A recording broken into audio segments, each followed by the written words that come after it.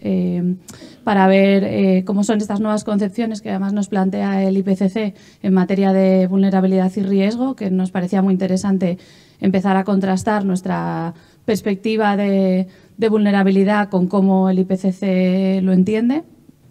Eh, y tenemos a Laura Quesada, que viene de la Universidad de País Vasco, eh, con la que estamos trabajando en un, en un, plan estatal, en el proyecto LADAP, eh, en el que nos va a hablar pues, de una de las metodologías que estamos incorporando en el proyecto para evaluar la vulnerabilidad. Así que nada, pues muchas gracias a, a todos y todas. Hay gente que está aquí de manera obligatoria porque es su asignatura, pero a quienes han venido voluntariamente, pues bienvenidos y bienvenidas. Nada, y damos paso pues a la primera mesa. Creo que Agustín.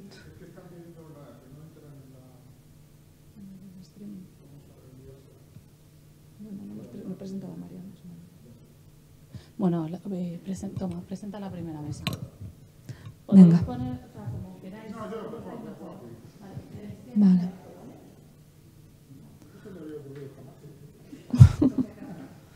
Hay también uno de estos, pero si no te vas a levantar, da igual.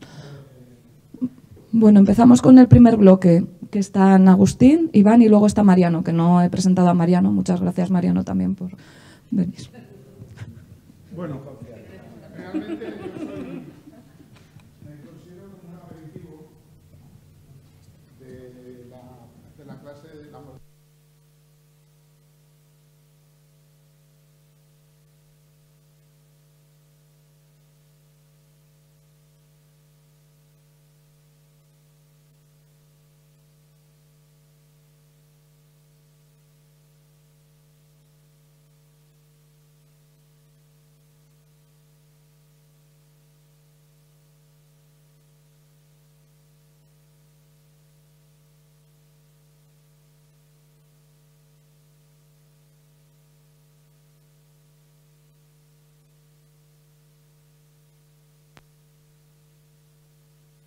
esto, lo, lo, realmente interesante es saber que todo esto tiene una, una, lógica de decisiones, ¿no? Entonces, hay un ejemplo que a nosotros, bueno, sobre todo porque vitalmente lo estamos haciendo desde el año 96, con, que es el catálogo de barrios vulnerables, ¿no?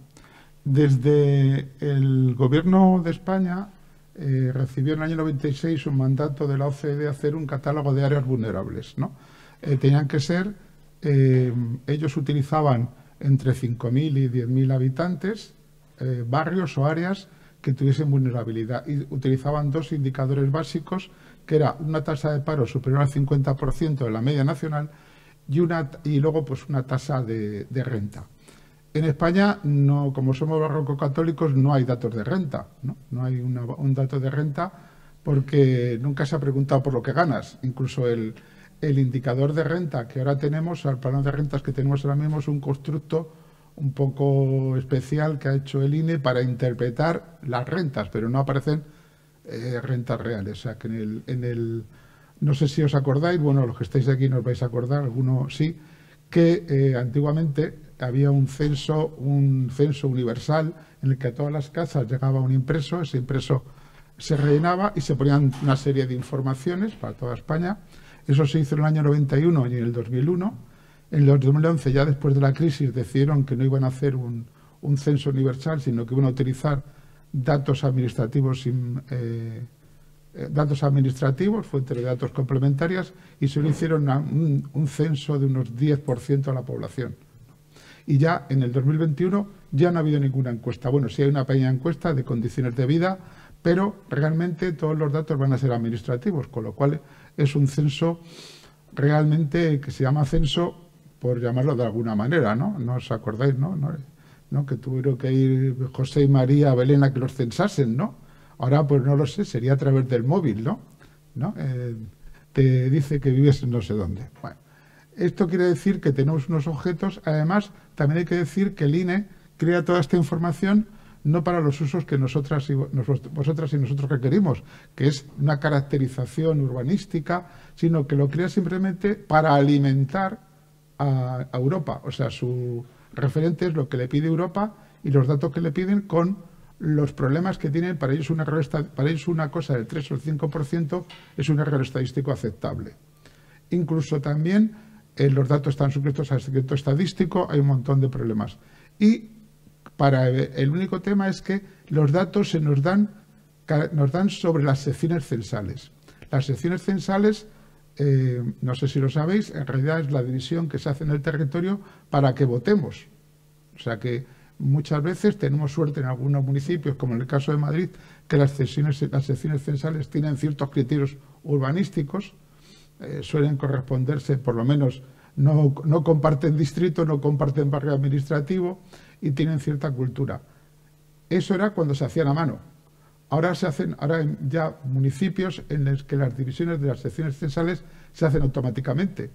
O sea que realmente, como es un espacio en el que tiene que haber entre 500 y 1.500 personas, votantes, no habitantes, porque en aquellos espacios que hay un 50 o un 60% de población inmigrante, esa población no tiene, no tiene sentido para el voto, tiene sentido, eso nos crea algunas aberraciones que también se van a empezar a, se producen ya fenómenos automáticos de división de sesiones, de secciones censales de una manera automática, no una manera, una manera urbanística o lógica.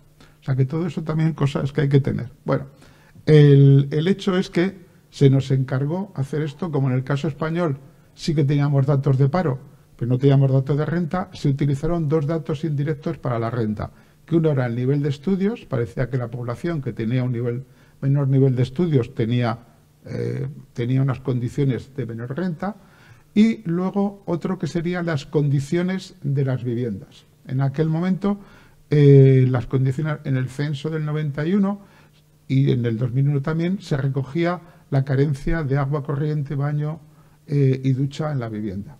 Eso parecía que, bueno, pues si vivías, entonces como un indirecto, dice, una zona en la que hay muchas carencias de esas, será una zona que tiene mal acomodo.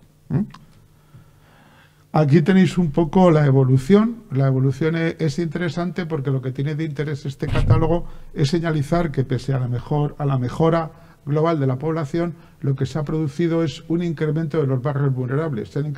Esto que se llama, bueno, no que os voy a decir a vosotros que ya no podéis vivir donde vivíais antes y que a veces tenéis que ir más lejos porque no podéis pagar las rentas del sitio en que vivís. Se está concentrando, está, hay, hay un incremento de población en vulnerabilidad, pese a que la renta del país sea mayor o que haya. O sea que eso también es una, tendría una interpretación interesante. ¿no? Fijaros que hemos pasado de 370 barrios vulnerables en el 91 a 617 en el 2001 a 2011 en el eh, digo, a 918 en el 2011. O sea que realmente es una situación eh, realmente, realmente notable de población en situación de vulnerabilidad. O sea que las situaciones en vulnerabilidad, pues, pues hemos pasado pues, a tener entre en el 2001 el crecimiento ha sido un 13%. Bueno, el crecimiento entre el 91 y el 2001 de la población en barrios vulnerables ha sido un 136%. Lo que sería. Pero bueno, eh, lo que a nosotros nos importa es qué es el concepto de vulnerabilidad. Aquí hemos cogido el concepto de vulnerabilidad basado en Castells, Castell, no Castells, ¿no? que este era una aportación que nos hizo Julio Alguacil y Javier Camacho, que eran los, nuestros sociólogos urbanos, eh, desgraciadamente que no están con nosotros. Y entonces Castell dice que la vulnerabilidad tiene que ver con dos variables, la variable económica y la relacional. Entonces, realmente la consistencia, hemos, hemos tenido la suerte de que los indicadores que usamos del 91 nos permiten establecer la vulnerabilidad social, esa vulnerabilidad económica a través del paro, y la relacional, el primer momento a través de estudios, y luego ya veremos, luego Iván avanzará que hemos tenido que hacer un cambio recientemente en ello, pero luego todo se produce en un espacio, en un espacio que es el espacio que habitamos y que la única manera que tenemos de tener datos es a través de las condiciones de vivienda, porque es el único indicador indirecto. Si las viviendas eh, no cumplen determinados estándares o tienen determinados problemas, quiere decir que ese espacio pues no, pues no funciona, no está bien, o sea que tienes un espacio que no está. Bueno, aquí lo que sería interesante Veis aquí los, los valores que se cogieron en el, año 91. Eh, el año 91 es el año, eh, digamos que, eh, que, lo que es curioso es como una solución muy sencilla, ahí Mariano yo creo que nos ayudará, cuanto menos variables tenemos y mejor elegidas están, más fácil es hacer una taxonomía. eh, cuando incrementas el número de, me adelanto, Marino luego me dirá que estoy equivocado, cuando incrementas el número de variables, pues que a veces, digamos, la, la, decisión de lo que es una cosa es cada vez peor. O sea que lo importante muchas veces es saber lo que quieres ver, no tener muchos datos, porque puedes tener muchos datos que no sean más que ruido y basura.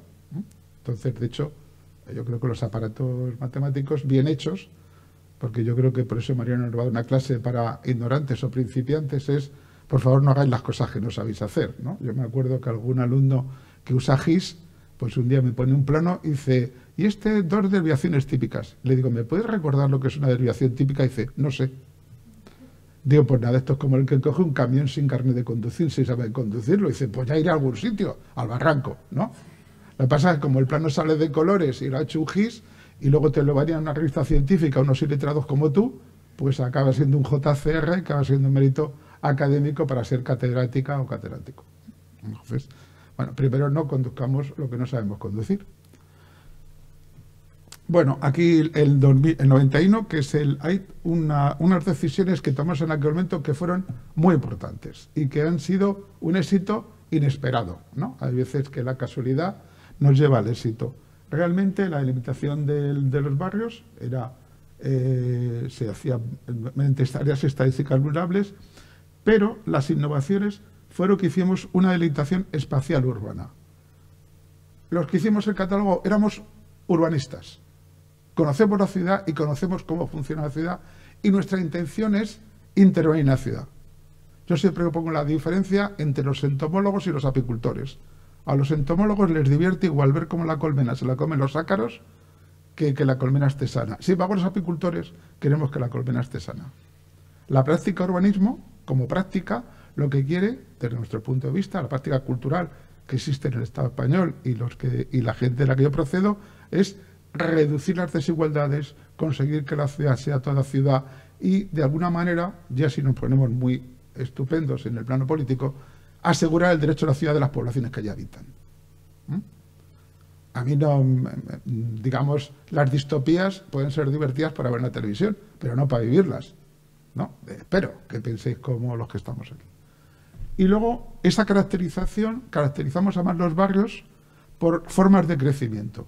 Ahora veremos lo que son las formas de crecimiento. Y luego incluimos en el diagnóstico no solo los problemas, sino las oportunidades.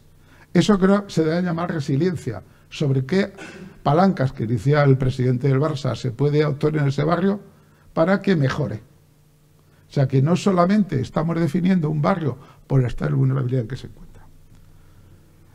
Nosotros, de nuevo, otra cosa que somos es, eh, no sé si fisiólogos, que queremos ver las cosas.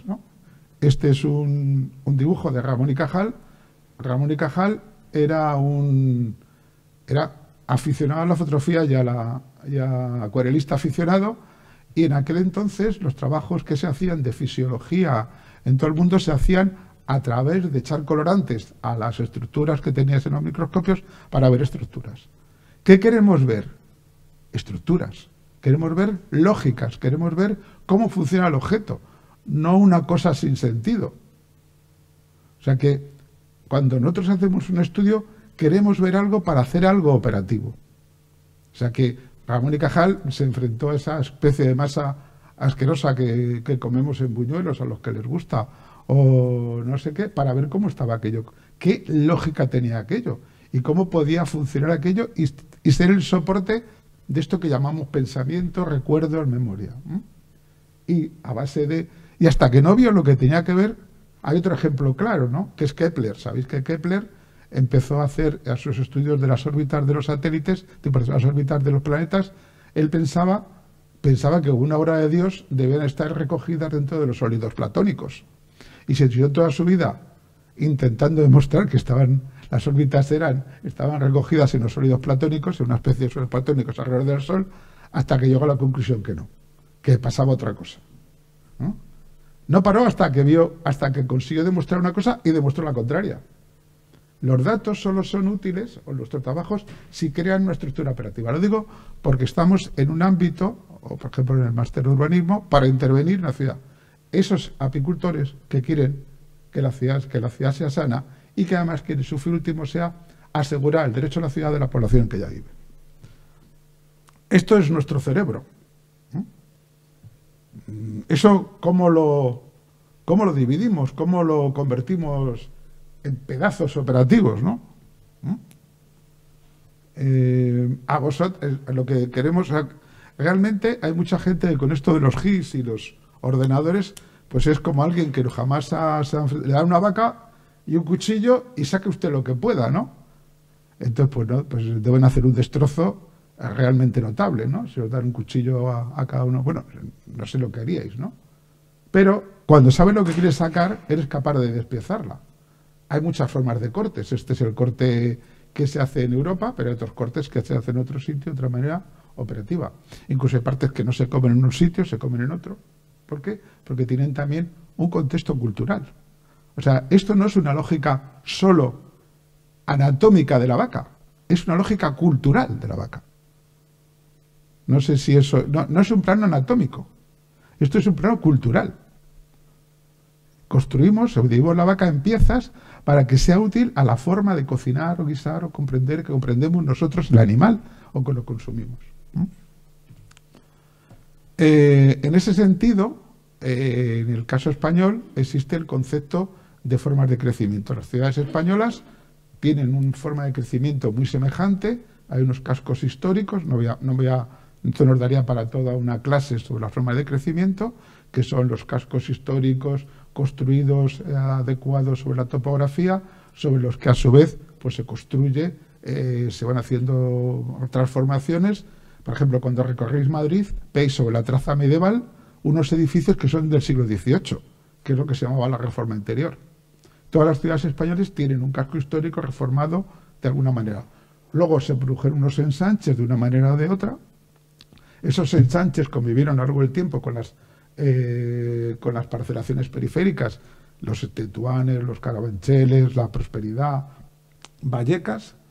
Se produce la guerra civil y hay una primera operación de unas viviendas de muy mala calidad alrededor, sobre todo sobre espacios públicos, sobre terrenos de titular pública, que son las promociones públicas los 40-60, llega el desarrollismo y se da todo el desarrollo en la iniciativa privada, en el caso español, en otros países son iniciativa pública, pues son las promociones privadas de los 60 a los 75, y luego hay algunos otros fenómenos, como serían los nuevos desarrollos que se producen después de la democracia, que ya cumplen la ley del suelo, unos privados y otros públicos, Luego los pueblos anexionados que son absorbidos por las ciudades, caso de Madrid, pues Vallecas Villa, eh, Fuencarral, ¿no? Algunos de estos.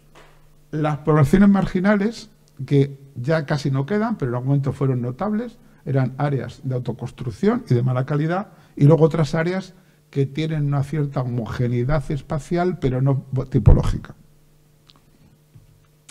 Aquí tenemos el plano de la vaca de Madrid dividido en sus formas de crecimiento forma de crecimiento que aún no está dividido en piezas para su utilidad. Entonces llega nuestro problema, que es hacer piezas útiles. Entonces las piezas útiles se dividen, se dividieron mediante un proceso eh, de determinación, ya no solo morfoticológica, sino funcional, con los límites entre 3.500 y 15.000 habitantes. Los hicimos en gabinete, luego los, los fuimos a, los, se lo pasamos a la contrastación a los servicios urbanos, a los servicios urbanísticos de las ciudades que analizamos, y al final teníamos algo que, teniendo una homogeneidad tipológica, a lo mejor solo recogía una parte vulnerable, pero la idea es que habría que intervenir sobre todo él. En el 2011, pues tenemos algunos cambios. El 2011 ya, eh, ya, digamos, en el 2001 ya se había usado GIS, en el 2011 ya se había usado se utiliza de nuevo GIS, las fuentes son más inasibles, pero hay dos cambios fundamentales. Una, vamos a ver qué es el crecimiento de la tasa de paro, acabamos de acabar la guerra, la, la recesión económica, y luego que ya no tenemos datos sobre, eh, sobre eh, baño, ducha en las viviendas. Entonces hay que utilizar otro dato.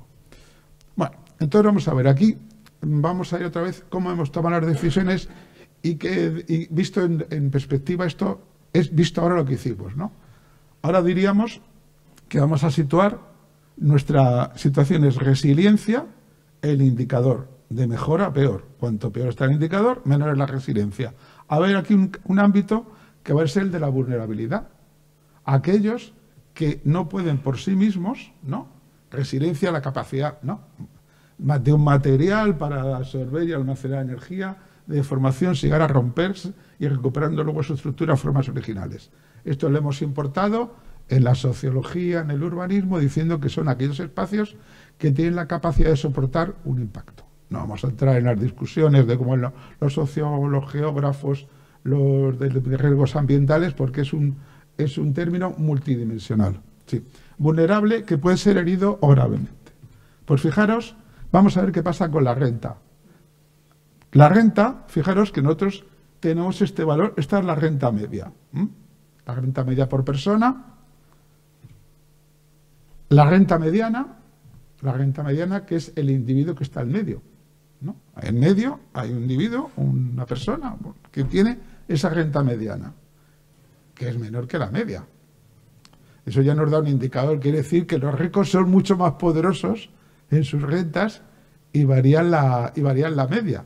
¿no? Eh, es una, un crecimiento. Pero alguien ha decidido políticamente que el umbral de la pobreza es el 60% de la mediana.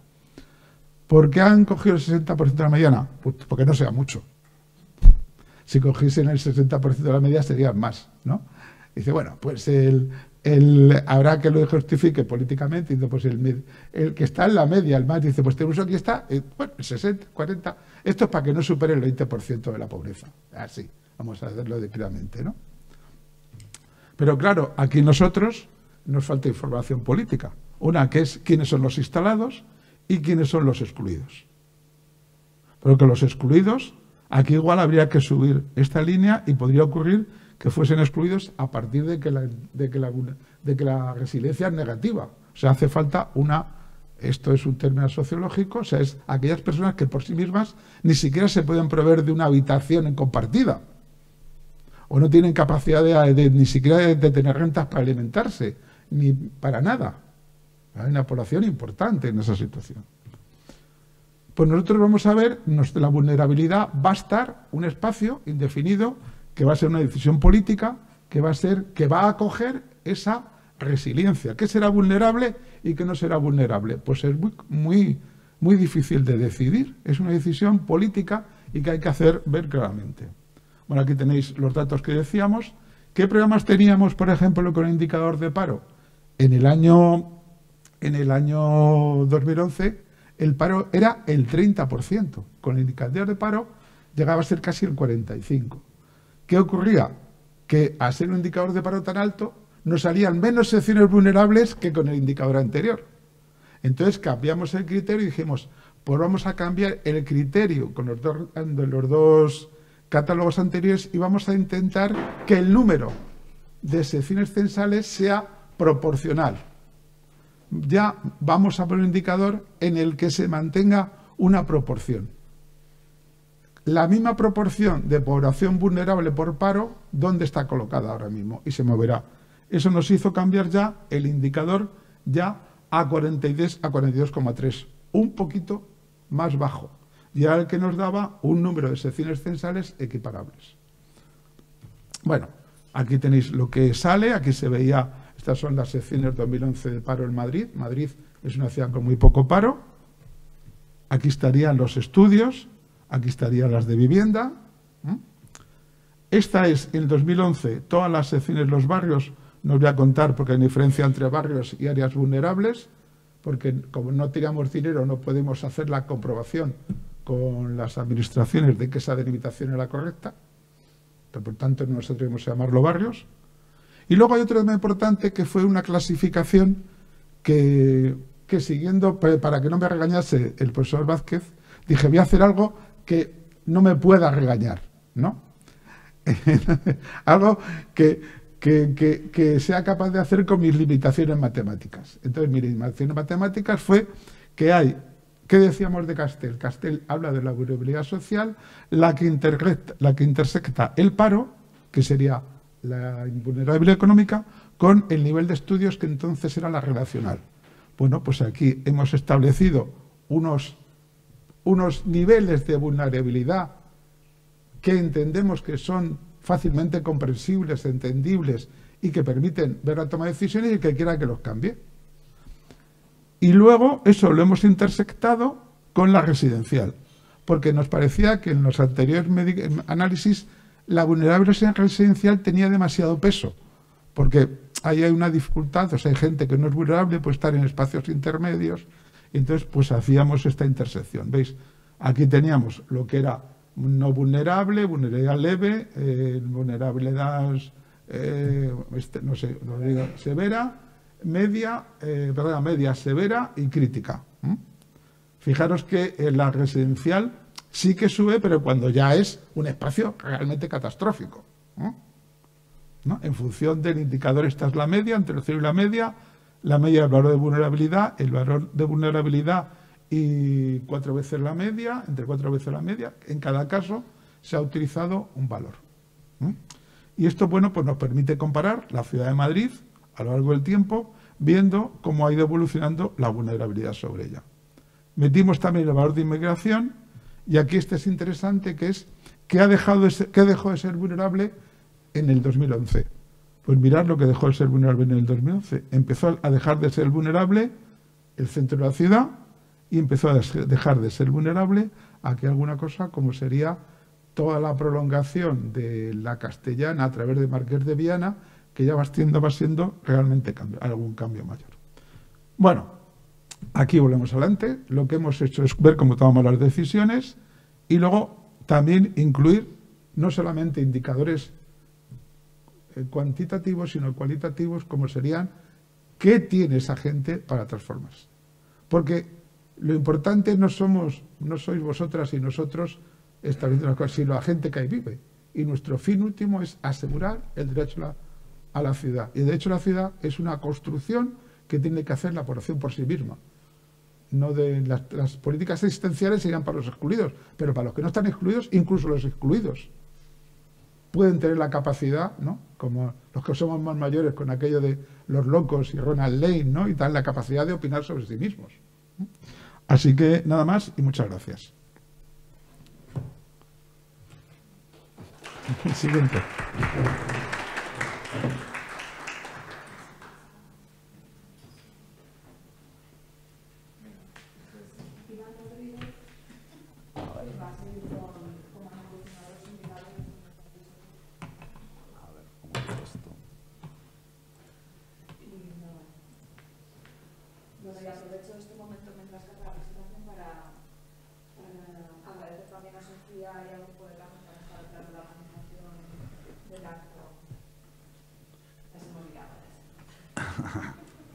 Bueno, eh, buenos días a todos. Yo voy a continuar eh, a partir de lo que ha explicado Agustín, abordando qué es lo que estamos haciendo en la revisión del catálogo de barrios vulnerables del 2021, en la que estamos ahora mismo en proceso.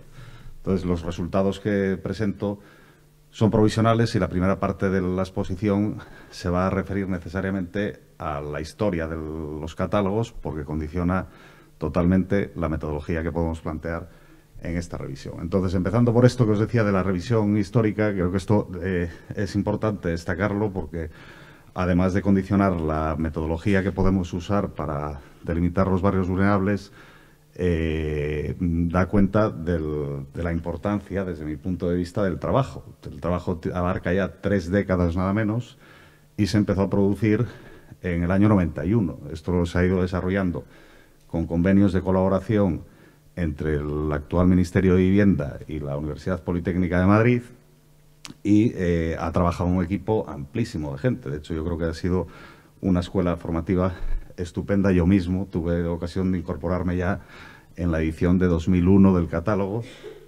Trabajé en la del 11 y ahora mismo pues estamos con la del 21. Entonces ha, habido un equipo amplísimo. Nerea misma, por, por ejemplo, trabajó también en la edición del 2001 y buena parte yo creo que del, personal de nuestro departamento ha pasado por aquí, por aquí de una u otra manera.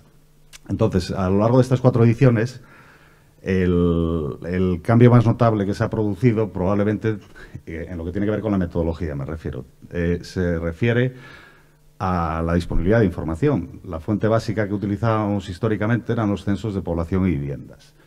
Eh, problema, el censo ha mutado de forma radical en las dos últimas ediciones. Tanto el censo del 11, lo refería antes Gus, como el actual, eh, su fuente principal son los registros administrativos.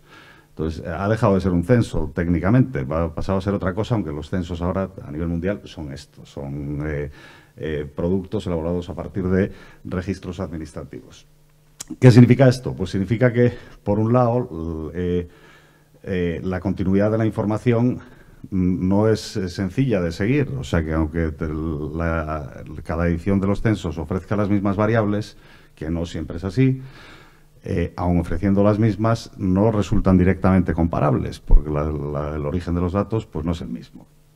Y eh, además han desaparecido variables. Esto nos ha llevado, en la última edición, con la que estamos ahora del 21, a tener que utilizar fuentes adicionales de información, que las dos que estamos usando adicionales al censo son esas que figuran ahí, el catastro y, la renta, y ahora me detendré un poco en explicar cuáles son los indicadores que estamos usando para delimitar y eh, qué eh, valores de referencia utilizaremos. Eh, refiero al equipo de este año únicamente, el, que tenga interés y no se sienta representado, pues puede consultar ahí todos los créditos de todas las ediciones, pero este año pues estamos trabajando pues estos eh, seis, creo que somos, que, figuran ahí y están aquí presentes en la sala por si alguien tiene alguna duda concreta, porque buena parte del trabajo lo han desarrollado pues el, grupo que están aquí presentes. Bueno, he traído también el despiece de la vaca, porque al final el objetivo último que nosotros tenemos es esto. Estos planos que veis aquí, eh, en realidad van de esto. No, nuestro interés, y a diferencia de otros productos que ahora proliferan por todos los sitios, que son visores de, eh, con diferente eh, formalización y nuestro interés último es delimitar piezas. Delimitar piezas, no ofrecer una visualización en mapa continuo en la que se ven gradientes de colores, sino directamente delimitar unas piezas que tienen un tamaño que eh, teóricamente permitiría programar intervenciones que mejoren esos espacios tal y como explicábamos. La información eh, histórica, tenéis mucha información disponible para el que le interese y está disponible además en formatos reutilizables desde el año 2020, yo creo que lo, que lo publicamos y la intención es sacarlo según vayamos produciendo para el censo del 21. Bueno, eh, y entro ahora ya en materia de la metodología y la definición de los indicadores. La metodología básica del trabajo requiere pasar por estas cinco fases. La primera, definir los municipios en los que vamos a trabajar. La segunda, los, los propios indicadores con los que delimitaremos los barrios. La tercera, elaborar las bases de datos de los indicadores por secciones censales y establecer los filtros a partir de los cuales se considerará que un espacio es vulnerable. Y la cuarta y la quinta, la cuarta es de delimitación de áreas y barrios, de áreas estadísticas vulnerables y barrios vulnerables, y la quinta de caracterización y elaboración de un fichero detallado para cada una de ellas. Señalo las tres primeras porque es el punto en el que estamos ahora. Estamos concluyendo ahora mismo la fase 3, ¿vale? De elaboración de las bases de datos y establecimiento de los filtros de referencia. Eh, mm, empezaremos en breve ya la delimitación y es de esperar que a lo largo de este año, en junio creo que tenemos la fecha de cierre, tengamos la información disponible ya de las nueve ciudades más grandes de España y, esperemos que seamos capaces de publicarlo. Bueno, el primero de los pasos, la definición de los municipios de estudio. Esto que puede parecer trivial, eh, como vamos ya por la cuarta edición y el criterio que se utilizó inicialmente era eh, incluir todos los municipios mayores de 50.000 habitantes y capitales de provincia, pues esto que decía que parece trivial tiene su complejidad. ¿Por qué? Porque el cuerpo de estudio eh, no es el mismo todos los años. Entonces, iniciamos el trabajo en lo, del 91 analizando 116 municipios y hoy pues son ya 153 los que han entrado en el recuento de los barrios, ¿vale? Bueno, eh, de, respecto a la cobertura, la cobertura es bastante grande, porque lógicamente acompañando al proceso de urbanización del país y de eh, concentración cada vez mayor de la población en las ciudades, pues eh, cogiendo este grupo de ciudades, pues ya abarca el, más de la mitad de la población del, Estado, ¿vale? El 53%. En algunas regiones, además, como la Comunidad de Madrid, pues es casi el, es un poquito más del 85%. Y ahora vamos ya con los indicadores. Los indicadores de delimitación, eh, esto parte, lo explicaba antes Gus, y ahora voy a entrar un poquito en detalle en esto. Parte de una encomienda que, a la que se sumó, una encomienda de la OCDE, a la que se sumó el Gobierno de España en el año 96, me parece que fue, en la que se pretendían delimitar unos barrios en base a barrios desfavorecidos, se llamaron aquella primera edición, que este es otro tema también, como ha habido cambios en la terminología y cómo eh, las palabras acaban significando cosas distintas y acaban mutando también.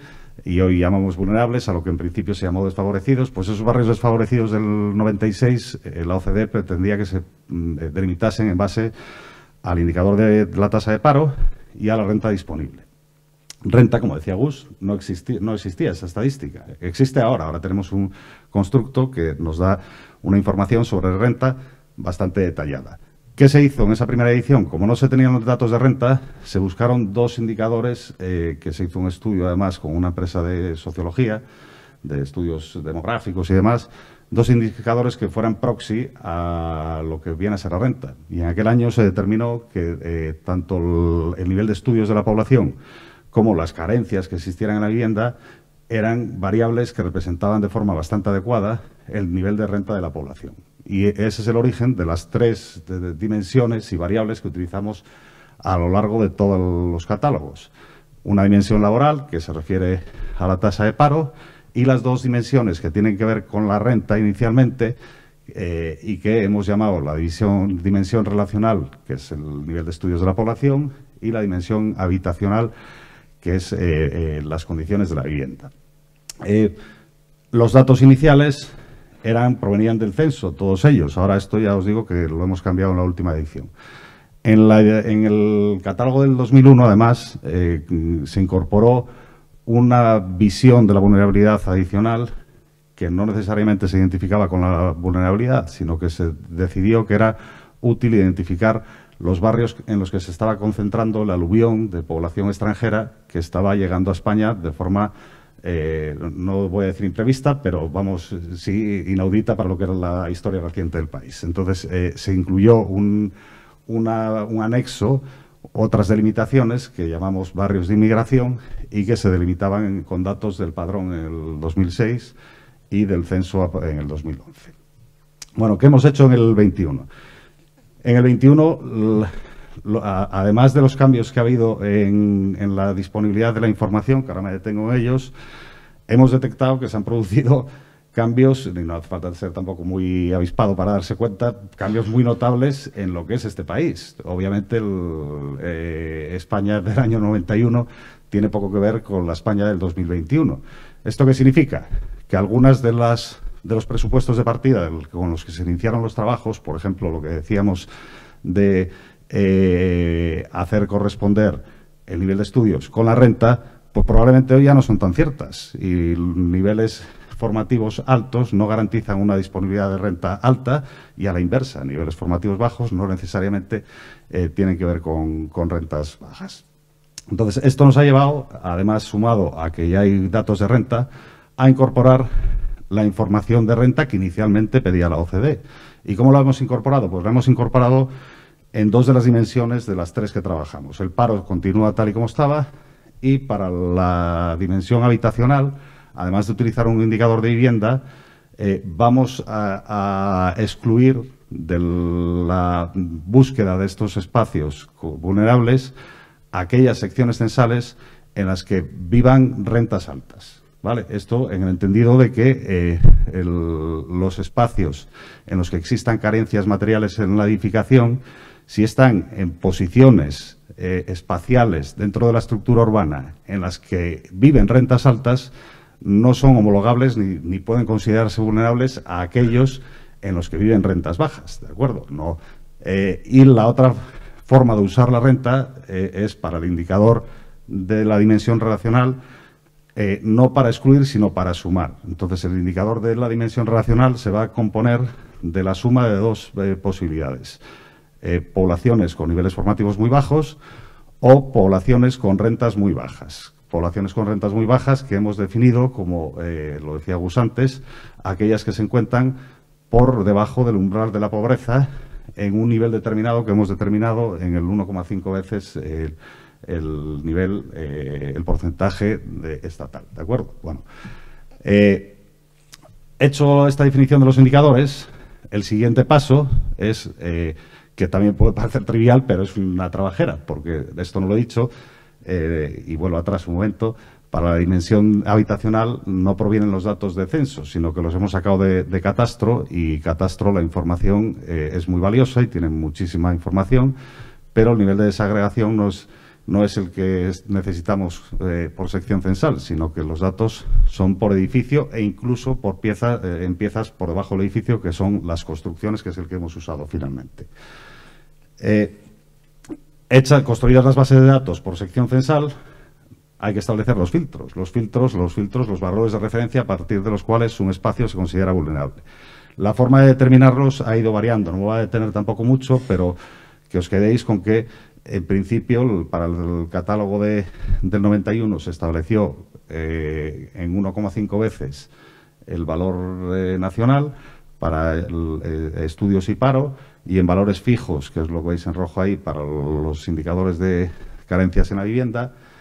Y esto se conservó en el 11, en, perdón, en el 1 y en el 11, lo decía antes Gus también, eh, debido al incremento del paro hubo que tomar una decisión que era, porque claro, esto no lo he dicho y es importante, uno de los objetivos básicos de cada edición de los catálogos es que no se pierda la continuidad temporal y que podamos eh, tener, aunque no sean directamente comparables, porque las propias secciones censales cambian, cambian las condiciones del país, por lo menos que no perdamos la serie histórica y tenemos que usar los mismos indicadores en la medida de lo posible y eh, valores equivalentes de volumen de, vulnerabilidad. Entonces, eh, se tomó la decisión, que es lo que veis ahí en azul, de que determinados filtros había que establecerlos no en base al 1,5 veces la media nacional, porque eso nos daría una muestra mucho mayor o menor, eh, sino en un volumen equivalente de secciones a las que se habían detectado en, ediciones anteriores. Para el que tenga interés en estas cuestiones, pues yo me puedo detener lo que sea necesario fuera de, programa, porque si no, no va a dar tiempo a explicar el resto. Eh, unas, unas, pinceladas muy rápidas de lo que está saliendo. El paro, lo decía antes, esto es un histograma de frecuencias del nivel de paro de cada una de las secciones, de todas las secciones censales de las ciudades mayores de 50.000 habitantes en las tres últimas ediciones de los catálogos. En la línea negra es la, el dato del 21, la verde es la del 2001 eh, y la azul es la de 2011.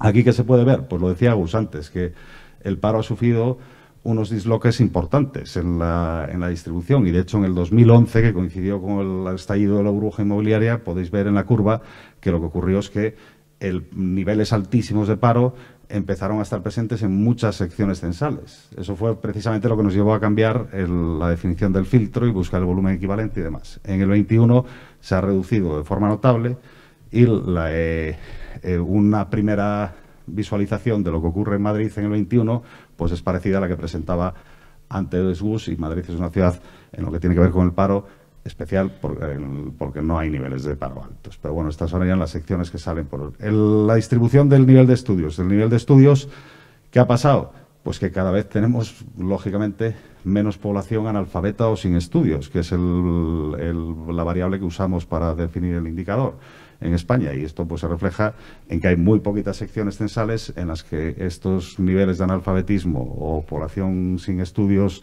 eh, sean altos en Madrid, eh, esta dimensión relacional a la que hemos incorporado, además, las rentas bajas, eh, tiene esta presencia con los datos del 21. ¿vale? Y esto se divide, a su vez, en, las dos dimensiones que os decía, porque el indicador de la dimensión relacional lo vamos a construir ahora con el nivel de estudios, que sería esto que veis aquí. Lo oscuro son los espacios en los que vive, 1,5 veces más que la media nacional, población analfabeta o sin estudios, que el valor de referencia era es el 6 y pico por ciento, me parece.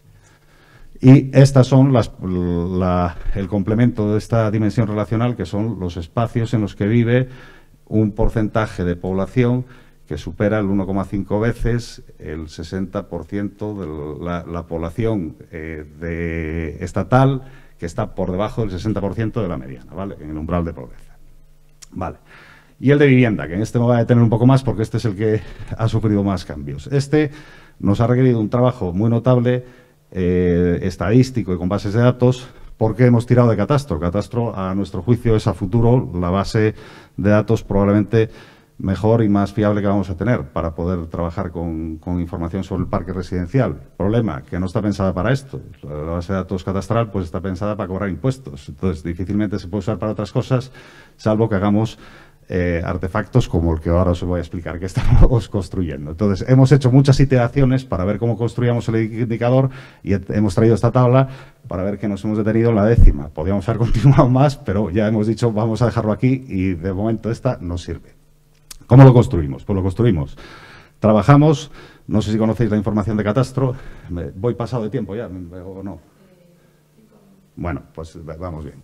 Eh, no sé si conocéis la información de catastro, pero hay muchos productos de información catastral. El de mayor desagregación y con mayores posibilidades son los ficheros CAT. Los ficheros CAT de catastro es un formato propio de catastro que si lo abres, pues aquel que lo haya trabajado, pues trabajas un fichero de texto plano con un mogollón de registros que se refieren a eh, fincas, inmuebles, par de eh, construcciones y otras cuantas más que ya ni recuerdo su denominación. El caso es que su trabajo requiere mucha elaboración con bases de datos muy pesadas.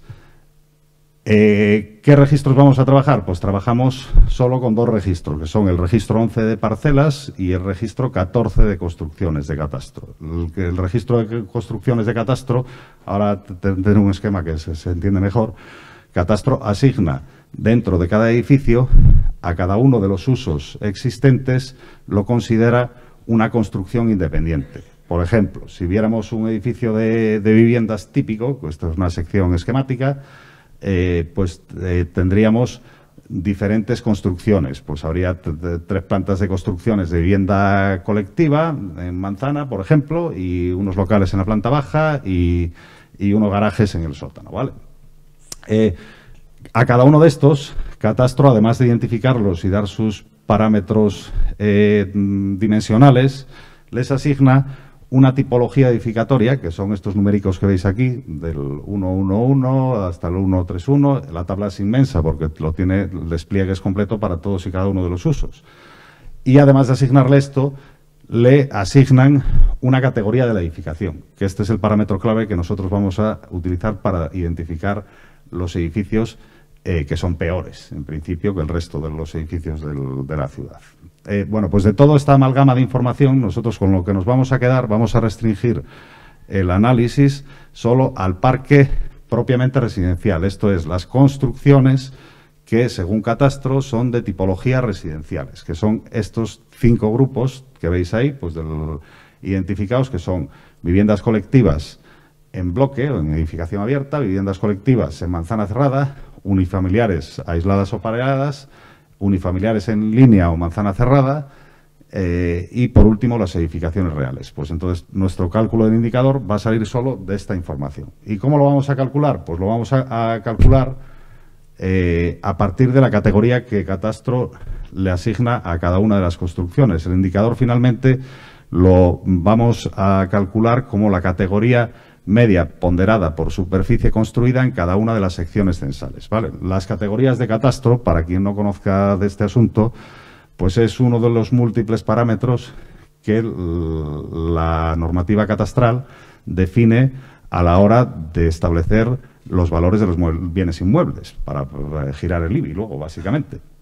Entonces, las categorías es un parámetro numérico que Catastro, cada ponencia de valores que se elabora a nivel municipal, asigna a cada una de las construcciones. Y ese parámetro numérico se mueve entre, son números enteros, entre el 1 y el 9, ¿vale? El 1 es la categoría buena, la mejor, y el 9 son las categorías peores.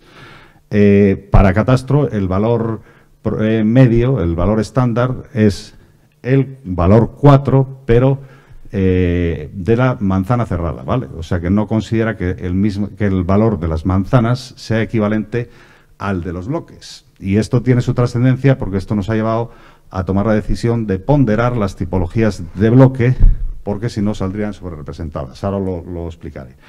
El histograma de frecuencias que veis ahí, pues esto es el reparto de superficie construida en todo nuestro cuerpo de estudio, en las ciudades mayores de 50.000, eh, en cada una de las categorías. ¿vale? Entonces veis que predomina, pues el 40% está en la categoría 4, coincidente con lo que dice la propia norma catastral de que es el valor estándar. Las categorías buenas hay muy poco y las eh, malas, pues también un poquito. el A, B y C que veis son categorías de rango superior, por así decir. Son los edificios mejores dentro de los mejores, que solo asignan algunos municipios para grabar con más IBI eh, determinados productos inmobiliarios. Por ejemplo, aquí en Madrid, pues un ejemplo típico es Torres Blancas está en categoría A, ¿vale? No, es 1A, ¿vale? Entonces, ¿qué pasó? Pues al construir esto y, no afectar, no tener en cuenta la tipología, lo que veis aquí, pues es eh, la vulnerabilidad que saldría por sección censal eh, sin tener en cuenta la tipología. Entonces, que a la columna de la derecha veis las tipologías, eh, la distribución de tipologías por toda la, eh, para todo el cuerpo de estudio, o sea que lo que predomina, veis que predominan las manzanas, que es el 1, 1, 2, es la, manzana cerrada.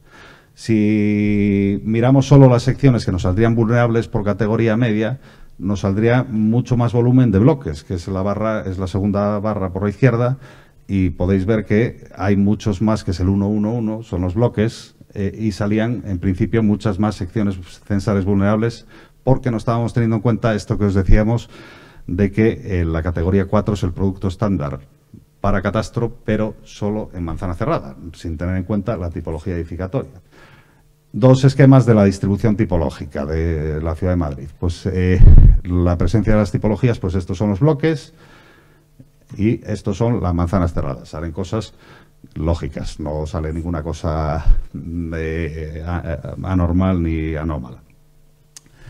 Eh, para corregir este efecto que os decíamos de la sobrerepresentación de los bloques en, la vulnerabilidad, pues hemos tomado la decisión de que íbamos a usar los propios coeficientes de valor que tiene la norma de valoración catastral. La norma de valoración catastral, que no me acuerdo cuál es, el Real Decreto este que viene aquí mencionado, 1020-1093, incluye en el anexo un, cuadro de coeficientes de ponderación que afecta las tipologías edificatorias eh, en función de su categoría. Entonces podéis ver allí lo que está señalado arriba del todo, en rojo, veis que la manzana cerrada en categoría 4 es el valor 1 para catastro y eh, precisamente los bloques eh, tienen, les asignan más valor. Nosotros hemos tomado la decisión de que vamos a hacer justo a la inversa para construir el indicador, que es afectar las categorías de las construcciones de bloque por un coeficiente de mejora de su categoría. ¿Vale? Entonces, que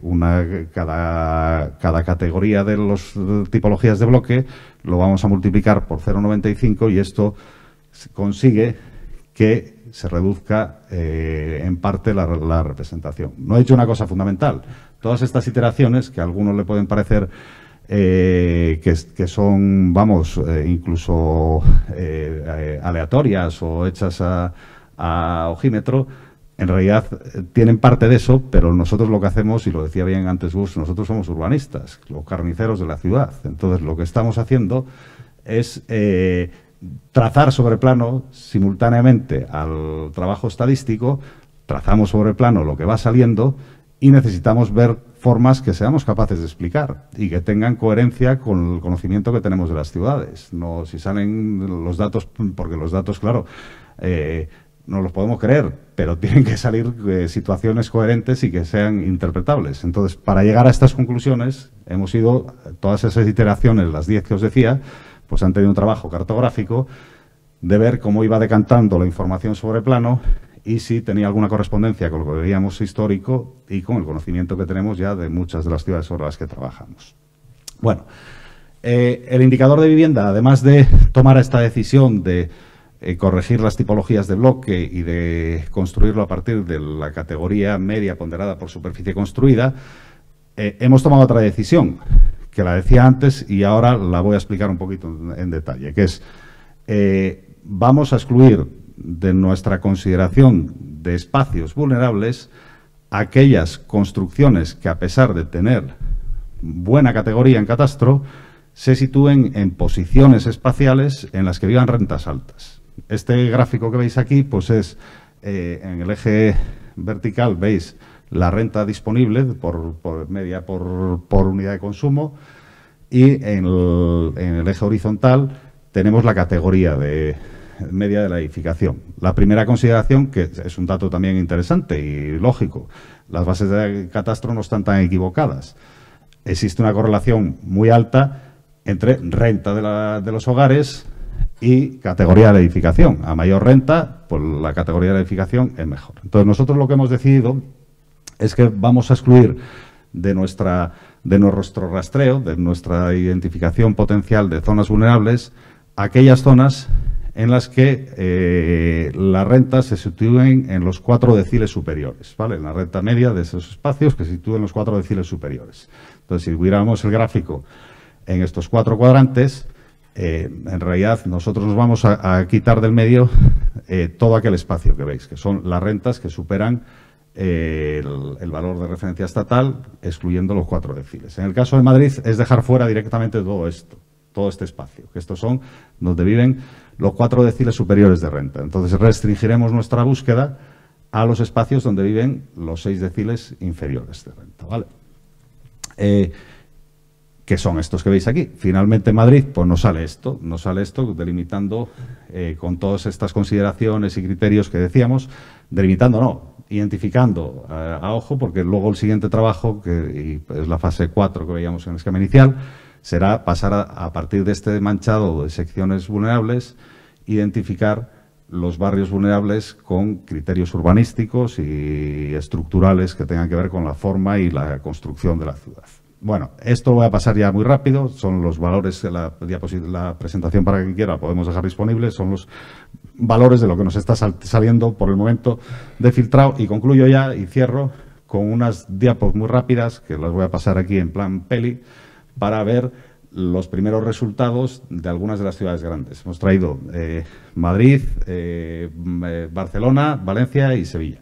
Entonces vemos un punteo rápido de cuáles son los resultados. Aquí veis agregado, están, lo, lo, morado es vulnerabilidad social, que incluye la dimensión relacional, o sea, los estudios y la renta, y la vulnerabilidad por paro, y por otro lado la vulnerabilidad residencial, que es todo este lío referido a la categoría de la edificación, excluyendo las rentas y demás. Entonces lo que veis en verde pues son espacios vulnerables por residencial, lo morado pues por paro y estudios y renta, y los que tienen los más oscuros pues reúnen simultáneamente las dos condiciones. Esto sería el plano de Madrid, esta es la superposición con los barrios, los perímetros que se han grafiado ahí ahora, son los barrios que teníamos delimitados en el 11 y en el 1. Y aquí vuelvo a lo que os decía de la necesidad del contraste sobre, con lo que va saliendo de los datos sobre el plano. Los resultados que nos van saliendo pues resultan bastante coherentes con lo que venía siendo la lógica histórica y parece que continúa el proceso que decía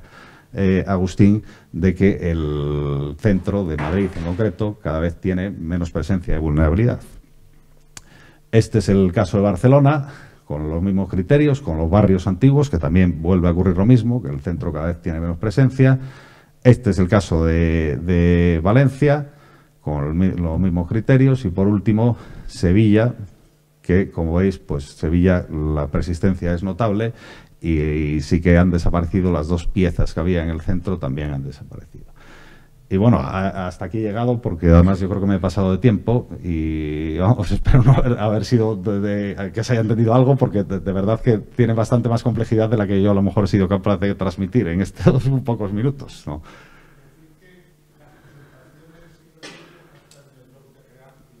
Ah, cierto, pues es que digo que las íbamos a enviar, pero no, las subiremos al, al blog, o sea que estarán ahí disponibles para todo el que las quiera consultar.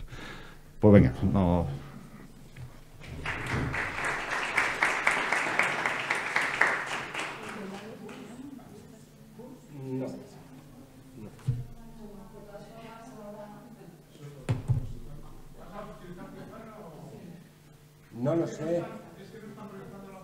No, no te preocupes, no te preocupes.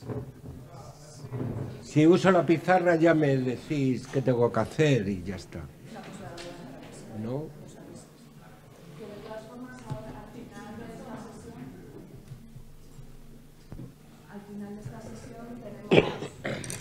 Al final de esta sesión tenemos unos minutos para dudas, o sea que me imagino que todo lo que nos han presentado nos está generando como también ideas para el debate y, tenemos 15 minutillos, vamos a ir ajustando para, para, llegar a tiempo. Y ahora ha llegado el momento en el que vamos a ir a la base de la lógica del control de los procesos y Mariano nos va a dar unas claves para ser capaces de hacer cosas como las que están haciendo Iván y el equipo de barrios vulnerables y bueno, las compañeras también de, de los otros proyectos. ¿Esto mejor lo apagamos? Ah, vale. Vale, vale, vale, vale, vale. No sé yo si la si la proporción es la original o no. Bueno, como vivimos en un mundo de destrucción lingüística, que Alex Grigelmo eh, viene comentando todas las semanas en el país, pues me ha parecido oportuno algunos términos importantes eh, dejar dicho lo que significan para mí en, este, en esta charla. ¿eh? Porque claro, hoy en día pues cualquier cosa se le llama de cualquier manera, incumpliendo la máxima de Confucio, que es curioso que lo dijera un tipo con un nombre como Confucio, que, si las cosas no se les llama como hay que llamarlas, pues se genera mucha confusión. ¿eh? Bueno, los vectores, todo el mundo sabéis lo que es un vector, o sea que esto es simplemente una un recordatorio, ¿vale? Al final un vector no es nada más que una pues un conjunto de números, ¿eh? y ese conjunto de números, pues si son dos, lo situamos en el espacio plano, como el de la pantalla, si son tres en el espacio nuestro, y ya si son cuatro, cinco, seis, siete, pues hay que ser Einstein para imaginárselos pero bueno, los matemáticos se manejan con espacios de dimensiones incluso infinitas, creo yo. Eh, lo fundamental es que dos vectores son iguales y sus números son iguales. Ya está, no hay más. ¿eh?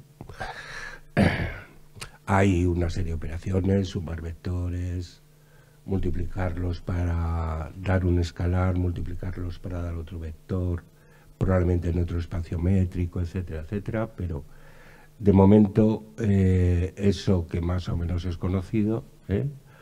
pues no, no nos hace falta. De estos vectores, si los interpretamos como un segmento en el espacio, ¿eh? pues se puede calcular la longitud del segmento, lo que se llama módulo, que es la generalización del teorema de Pitágoras que supongo que todo el mundo maneja con soltura. Y claro, si tienes dos dimensiones, pues es el cuadrado de una más el cuadrado de otra, la raíz cuadrada de la cosa, ¿vale? Como los sumandos dentro de la raíz son áreas en el espacio métrico, pues se pueden sumar, claro. ¿eh? Y como extraer la raíz cuadrada, vuelves a obtener una longitud. ¿eh? No hay ningún problema. Pasas de metros cuadrados a metros y ya está. Eh, claro, el asunto es que, mm, que uno puede decir, ah, muy bien, módulo, ya está. Pero el módulo tiene una información, eh, carece la información de la orientación. Y por lo tanto hay infinitos vectores con el mismo módulo que son distintos. ¿Mm? Es decir, que que distintas colecciones de los numeritos que definen el vector pueden dar el mismo módulo, pero los vectores son distintos. La orientación en el espacio, por lo tanto, es un asunto clave, ¿vale? Y es un asunto clave porque los vectores no se pueden ordenar. ¿eh? A ustedes les podríamos poner en fila y el más bajo primero y la persona más alta después y ya están ordenadicos, ¿vale? Con los vectores no se puede hacer eso. ¿Mm? No se puede, ya está. Es así la cosa. Salvo que solo haya una dimensión. Es decir, que estemos en el espacio de la arista de esta mesa. ¿eh? y los segmentos que representan vectores tengan que ser segmentos de la lista de esta mesa, ¿vale? O del borde de esa pantalla. Este es un caso de esos. ¿eh? Es un problema de estructuras, en el centro tienen el problema, que es eh, pues el típico desván de cubierta a dos aguas. ¿eh? Hay unas acciones que son conocidas, hay unas reacciones que son necesarias para que haya equilibrio y la cubierta no se caiga, ¿vale? Y alrededor hay ocho soluciones. ¿eh? Hay ocho soluciones con truco. Hay ocho soluciones con truco. Porque aquí es un problema teórico, ¿eh? valioso, pero cualitativamente valioso, no cuantitativamente en el sentido de que eh, el numerito que aparece al lado de las ocho soluciones es, es como la mínima cantidad de material estructural que hay que usar para construirlas. ¿vale? Y es importante ver ¿eh? que pasamos, no hay una enorme variación. ¿eh? Pasamos de 80, 3 por 8, 24, 2 por 8, 16, casi que multiplicamos el, un poquito más que el doble el coste material de construir esas estructuras. ¿vale? Algunas le sonarán, por ejemplo, esta se atribuye a Paladio, ¿vale? y otras le sonarán menos. ¿vale? Esta última que es muy rara, ¿eh? que tiene una propiedad notable, mientras que en todas las demás todos los puntos están dentro del desván, en esta están todos los puntos fuera o en la cubierta. ¿eh? Es el producto de la tontería artificial que usábamos en 1998. Las personas tontas, como los algoritmos tontos, tienen una capacidad curiosa, que es que tienen un punto de vista muy diferente de la gente normal. ¿eh? Y por eso dan cosas sorprendentes, ¿no? Como decir, ah, pues eh, me llevo todos los puntos fuera de la cubierta ¿eh? y cuelgo la cubierta de la estructura que está por fuera. Por eso en las culturas vernáculas los tontos, en el sentido técnico del término, pues estaban en la jerarquía de la tribu al lado del chamán y al lado del jefe porque oyes, a ver qué dice el tonto, que siempre nos da un punto de vista interesante, ¿no? En nuestra sociedad hemos tardado mucho en tener unidades de discapacidad o diversidad funcional en la universidad, por ejemplo. ¿no? Es curioso que la tontería artificial nos da la mejor solución de las ocho. ¿eh? Pero es un tema teórico, ¿eh? puramente. Si, basta que yo introduzca una nueva dimensión ¿eh? y que ya tenga otro numerito, aunque sea cualitativo, para que esto se venga abajo. Hombre, me gustaría poder pasear por el desván y meter cosas, ¿no? Así que solo esta solución y esta solución valen, son aceptables. ¿eh? Todas las demás se van al carajo. ¿eh? Bien, aquí insisto en ello porque es importante, es posible ordenar las soluciones porque solo tengo una dimensión, solo estoy considerando una dimensión. ¿Vale? ¿Qué es un problema multicriterio? Pues informalmente es un problema en el que tienes que evaluar las soluciones simultáneamente por varios criterios a la vez. Y además tienes la desgracia de que existen bastantes soluciones aceptables bastantes soluciones por las que puedes pasear por el desván. ¿vale? Y los problemas multicriterios están en todas partes, en ingeniería, en biología, en ciencia política, en economía monetaria, en el deporte, en el diseño urbano y en la ciencia de la guerra. ¿eh? En la ciencia de la guerra. En este sentido, el ejército israelí eh, está actuando de una manera insólita. ¿eh? Eh, debe ser que han degenerado sus servicios de estrategia, porque está planteando una estrategia militar en Gaza que realmente no va a conseguir ninguno de los objetivos que se ha propuesto. Es imposible. de hecho, hay bastantes militares no involucrados en porque ni son musulmanes, ni son judíos, ni nada, y que lo cuentan. Y bueno, pues, ¿qué le vamos a hacer? O sea que los problemas multicriterios están presentes en todas partes, pero como eh, muestra el caso de Gaza, eh, no siempre se resuelven bien. ¿Eh? Y el propósito de mi charla es intentar ilustrar cómo se pueden resolver bien o de manera razonable en algún sentido.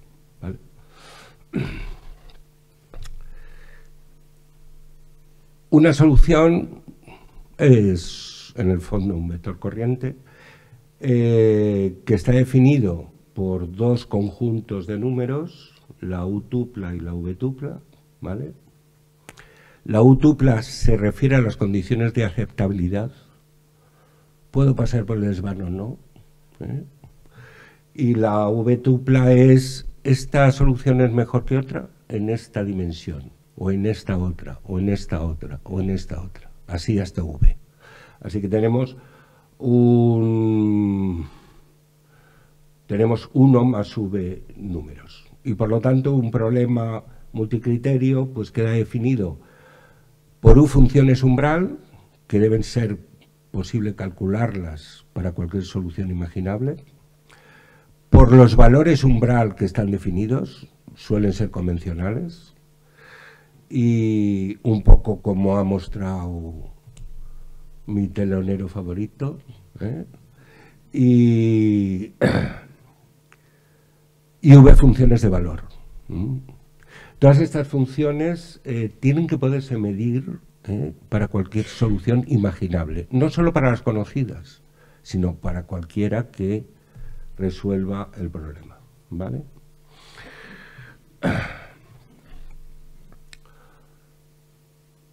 Esta es la definición formal, ¿eh?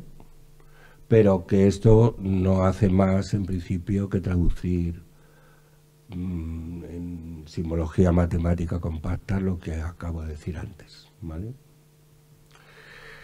Pero es importante lo siguiente. Mientras que en los vectores corrientes que usan los matemáticos o los físicos hay un espacio métrico homogéneo, en un problema multicriterio cada dimensión tiene su propia métrica en principio. Piensen, por ejemplo, bueno, luego veremos ejemplos. Con lo cual, no existe un espacio métrico en el que podamos usar el teorema de Pitágoras generalizado. No podemos medir distancias en el interior del espacio. Solo podemos medir distancias en cada una de las dimensiones, de las subdimensiones o de las subdimensiones. ¿eh? Pues, de hecho, muchas veces se pintan estas cosas en perspectiva, pero no tiene ningún fundamento. ¿eh? Porque pintar las cosas en perspectiva es suponer que existe un espacio métrico, donde puedes medir no solo sobre los ejes, sino de un punto cualquiera a otro punto cualquiera, es decir, de un vector a otro vector, la distancia en sus extremos. Y por otra parte, otra cosa importante es que las, sobre las funciones f y g no existe ningún, lo típico en matemáticas es derivabilidad infinita, monotonía, eh, continuidad, no continuidad. Aquí no hay nada. ¿eh? no se exige nada esa función, salvo que sea computable. ¿eh? Pero la computación puede ser en los enteros, puede ser valores lógicos, puede ser cualquier cosa. ¿Eh? El asunto es que para cada solución,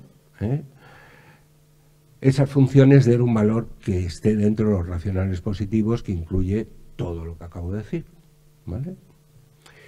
Y claro, no se pueden usar pseudomagnitudes que no tengan protocolos de medida ni unidades en el sistema internacional de unidades.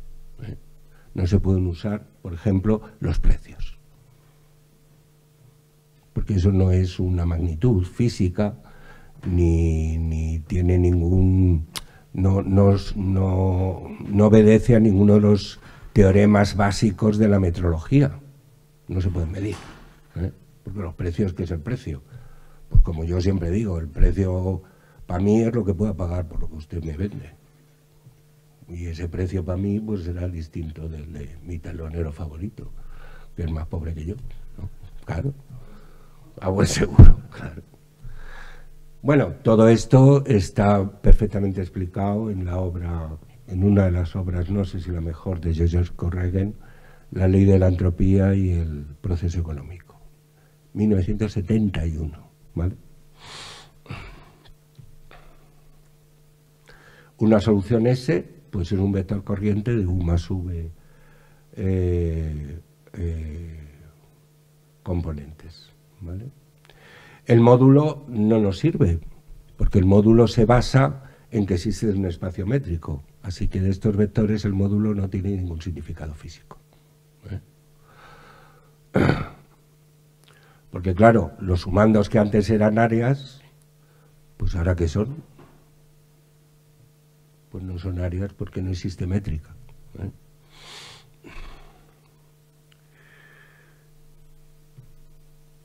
Aceptabilidad. Pues formalmente es lo que he dicho antes. Consideramos los valores de... Bueno, se puede usar la definición inversa, pero yo hoy voy a, usar la definición de que los umbrales de aceptabilidad deben ser superados. Es decir, que el problema tiene definidos unos umbrales que separan la zona roja de inaceptabilidad de la zona verde de aceptabilidad. ¿vale? Aquí, por ejemplo, estoy usando cuatro criterios de aceptabilidad. ¿eh? Como no hay un espacio métrico, los dibujo como me da la gana.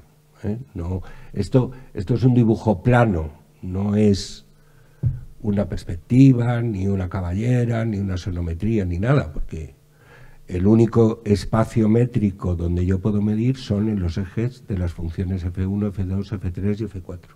¿eh? Digo que esta solución es aceptable porque supera los cuatro valores umbrales. ¿vale? Y la solución, si existiera, por ejemplo, en diseño estructural siempre existe, que separa el espacio de la aceptabilidad, de la no inaceptabilidad, es lo que se llama aceptabilidad estricta. ¿eh?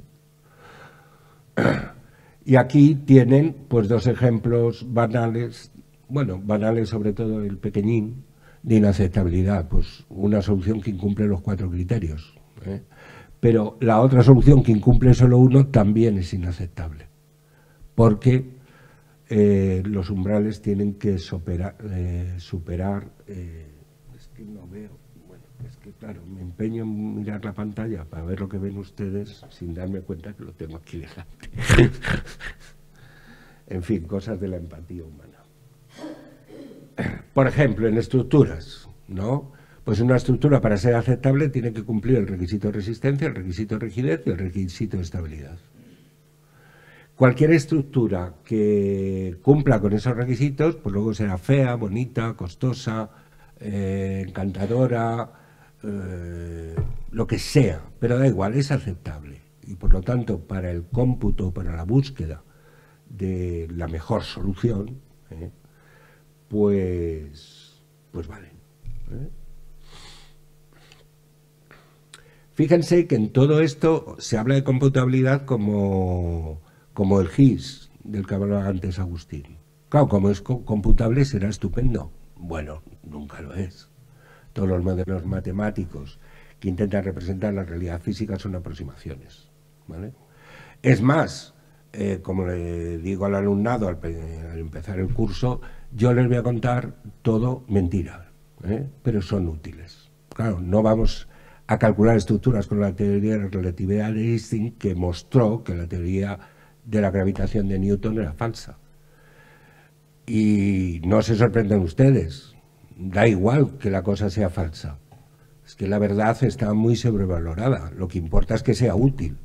Y vale, es falsa, pero la gravitación de Newton nos da unos resultados que, como aquí no hay mucha relatividad ni mucha curvatura en el espacio-tiempo, pues nos va bien. Y además es muchísimo más sencillo. Créanme. ¿vale? Así que siempre se tratan de modelos aproximados, generalmente falsos, y que simplemente hay que comprobar que son útiles y que representan bien la cosa en cada una de las dimensiones. ¿Vale? Vale, ya tenemos más o menos bien definido el conjunto de soluciones, qué es una solución y ahora cómo elegimos una solución, buscando siempre lo mejor. ¿vale? Se me ha olvidado decir antes, creo... Bueno, no, no, nada, paso. Las soluciones inaceptables se descartan, ya está, punto. ¿no? Hay un ejemplo en mi telonero favorito. ¿no? Eh, aquí la aceptabilidad era, es que esto mete mucho ruido, pero bueno, es que los criterios de aceptabilidad son los que se hayan decidido. Si dentro del conjunto de las aceptables solo queda una, pues chachi ya está hecha. Qué fácil, ¿no? Pero, ¿y si quedan varias? ¿Mm? ¿Qué hacemos? Voy a mostrarles un ejemplo así, tal cual, sin entrar en formalizaciones, luego formalizaré y luego hablaremos de otro ejemplo. Esto es un ejemplo de estructuras, creo, es que yo vengo de las estructuras, ¿qué le voy a hacer? Es un ejemplo antiguo, ¿eh? muy antiguo. De la época en que yo me ganaba la vida diseñando estructuras. ¿no? Y bueno, el problema es diseñar una viga. ¿eh? En realidad aquí, en este edificio, tenemos losas, pero bueno, daría igual porque también tenemos vigas de hormigón, ¿vale? Entonces, en un caso de una viga, unas cargas, una sustentación para que la viga pueda estar en equilibrio, la sustentación, esos chirimbolitos, así, pues en realidad representan una estructura que diseñaré luego, que son los soportes, por ejemplo, ¿vale? En este caso, se exigen dos eh, condiciones de aceptabilidad, que sea segura y que no se deforme apreciablemente, y cualquier diseño de viga eh, que cumpla con eso, pues es eh, aceptable. ¿vale?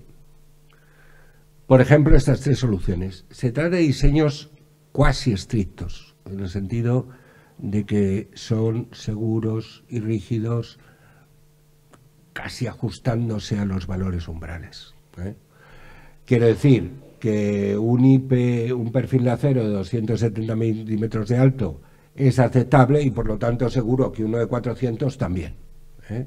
Pero me he limitado a coger tres, tres soluciones con materiales distintos, ¿vale? Y, y olvidarme de toda una palabra de aceptables que sean más, gordas que esas. ¿vale?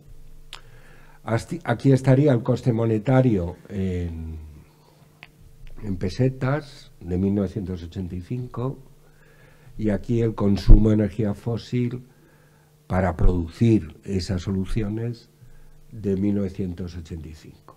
¿vale? Me dispiace que hay aquí una rata tipográfica. La perfección es imposible. Vale, ¿cómo elegimos? ¿Qué sea mejor? ¿La de acero, la de hormigón, la de madera? Bueno, pues hay una cosa bastante clara. La de acero, en este caso, y no piensen que el acero es un material antiecológico ni tonterías semejantes, este es un caso concreto y las generalizaciones no solo no se deben hacer, sino que son odiosas, pues está claro que en este caso el acero es peor que el hormigón armado. ¿eh? Pero, sin embargo, no puedo decir lo mismo de la madera o del hormigón armado. La madera tiene más coste monetario, pero mm, requiere menos energía fósil. El hormigón armado es más baratico, pero necesito contaminar más. ¿Vale? Así que puedo descartar porque es peor que la de hormigón, la solución de acero. Pero no puedo decidir entre estas dos de ninguna manera objetiva. No hay ningún algoritmo que me diga, ni tonto ni inteligente, suponiendo que existan algoritmos inteligentes, que M es mejor que HA o que HA es... No, es una decisión que tiene que tomar un sujeto. Por ejemplo, en este caso, mi cliente. Oye, Javier, ¿qué quieres? ¿Hacerte rico o que te aplaude Greenpeace? Tú verás. A mí me da igual porque ya me vas a pagar los tres cálculos que he hecho. Claro, porque yo no cobro porcentaje, yo cobro por horas, claro. Porque optimar es un trabajo duro. ¿eh? Y cuanto más quieres llegar al óptimo, más horas tienes que echarle. Bueno, espero que este ejemplo informal totalmente eh, no haya objeciones. Si las hay, que, levante la mano quien sea o calle para siempre. Porque, claro, no puedo seguir si no estamos de acuerdo en esto. ¿Vale? Vale, el índice de desarrollo humano es otro buen ejemplo con una historia muy interesante. ¿Vale? Eh, no es un indicador muy moderno, es de 1990. Dios mío, voy fatal de tiempo. Qué horror. Vale, voy a acelerar. Pues eso es poquísimo. Oh, qué horror. Eh, bueno, en 1990, y para trascender el único indicador de bienestar que había entonces, que era la renta monetaria, Naciones Unidas decide eh, incorporar dos nuevos índices, uno sobre educación y otro sobre salud. Eh. Y para clasificar a los países hacía la media aritmética ¿vale? de esos tres índices. Y por lo tanto, la V en este caso volvía a ser uno, aunque aparentemente se usaban tres cosas. Porque al final eh, esa media aritmética, pues ese es mejor que T si, si su índice de desarrollo humano es mayor que, que, el de otro país. ¿vale? Había un criterio de aceptabilidad que me salto porque voy fatal de tiempo.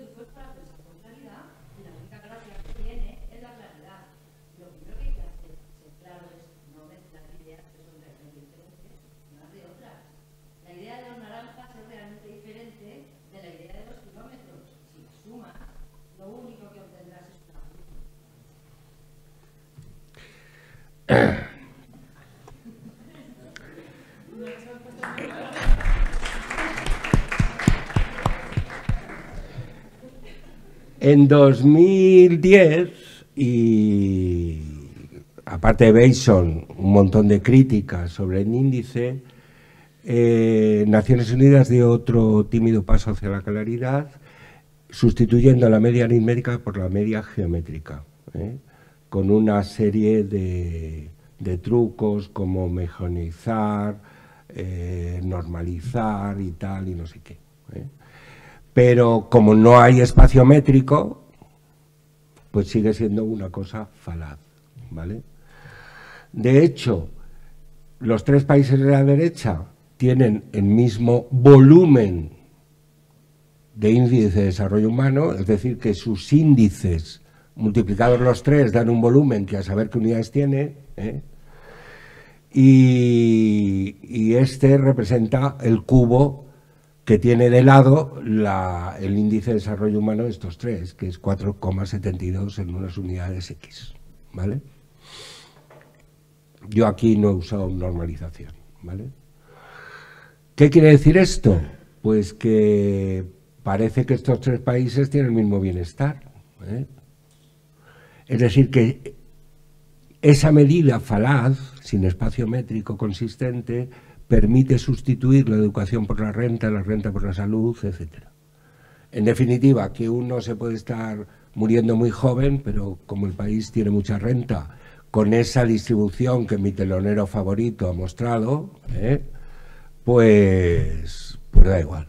El índice de desarrollo humano de 2010 ni se entera del asunto. ¿vale? No hace diferencia. No discierne. No tiene criterio, en definitiva. En realidad, la idea de Bateson proviene de la Grecia clásica. ¿eh? Es, la palanca de Arquímedes, es eh, los balancines del columpios del niño, que si hay un gordo, pues levanta al delgado y cosas así, ¿no? Pero eh, en la Grecia clásica el trabajo era el peso por la distancia, es decir, otra magnitud física. En el fondo la multiplicación o la división de Bateson lo que hacen es coger dos dimensiones y transformarlas en otra dimensión con una métrica distinta. Punto, ya está. Pero cuéntenme ustedes qué significa kilovatio hora elevado a la un medio, que es el resultado de extraer la raíz cuadrada del trabajo. ¿No? No significa nada. Bueno, esto es lo que hace la media geométrica. La media geométrica, de todas maneras, es un avance. ¿eh? Es un avance pero como el campo del desarrollo humano no es un campo conservativo, que es el único sitio donde estas cosas son útiles, pues también es falaz, ¿vale? En realidad, el problema estaba resuelto desde 1894 por un economista llamado Pareto, ¿vale? Y es la solución que les he mostrado informalmente, ¿vale? Hay que definir una relación de orden que es la solución S domina a T, si al menos existe una dimensión para interpretando las funciones G como costes, es, decir, que lo mejor es que sean cuanto más pequeños mejor, ¿vale? Pues eh, que al menos exista una solución en que la solución S sea estrictamente menor que otra solución T, ¿vale? Entonces decimos que S domina a T o es preferible a T o es mejor que T. ¿Vale? Esa eh, relación define implícitamente una relación de equivalencia que es no ser peor que, que divide el conjunto de las soluciones aceptables en clases de equivalencia ¿eh? y cuya definición formal no recursiva es larguísima, pero la tiene en la bibliografía, pero la definición eh, recursiva, que además da el algoritmo para, dado un, conjunto, dado un problema P bien definido, calcular las clases de equivalencia, pues está ahí. Le resultará un poco abstracto, ¿vale? Pero ahora pongo un ejemplo. En cualquier caso, es un algoritmo que ocupa en cualquier lenguaje de programación 20 líneas, no muchas más, ¿vale? Y que no sé por qué no lo usas. Agustín, porque no me has engañado. Te regañaré, pero en privado.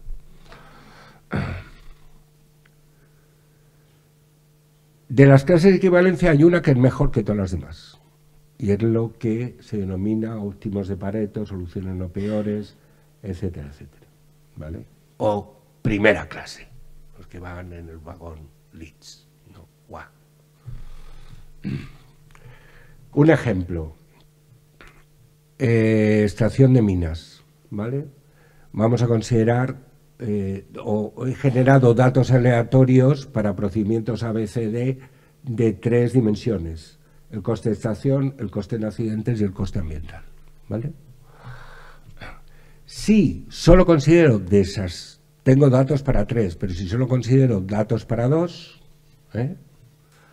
pues, y la represento, esto no es un espacio métrico 2D, es simplemente dos ejes. ¿eh? Y de nuevo, solo puedo hacer comparaciones y ordenaciones sobre cada eje. ¿eh? Pues lo que veo es que F la descarto porque es peor que A. ¿Vale? Tiene mayores costes de extracción y mayores costes de accidentes. E G la descarto porque es peor que B. E la descarto porque es peor que B y que D. ¿Vale? B la descarto porque es peor que C y que me queda A, C, D. Primera clase, segunda clase, tercera clase. Esto es lo que hace las líneas que les habrán resultado incomprensibles de la diapositiva anterior. ¿Vale? Pero vamos, el código yo se lo presto a quien lo necesite. Creo que en una hoja Excel es, no sería imposible, pero es complicado. ¿eh? Es muy complicado, pero se podría hacer. ¿Qué pasa si considero tres dimensiones, las tres para las que tengo datos? Pues que dibujo tres ejes. Esto no es una perspectiva, no es un espacio 3D, son simplemente tres dimensiones con su espacio métrico unidimensional particular.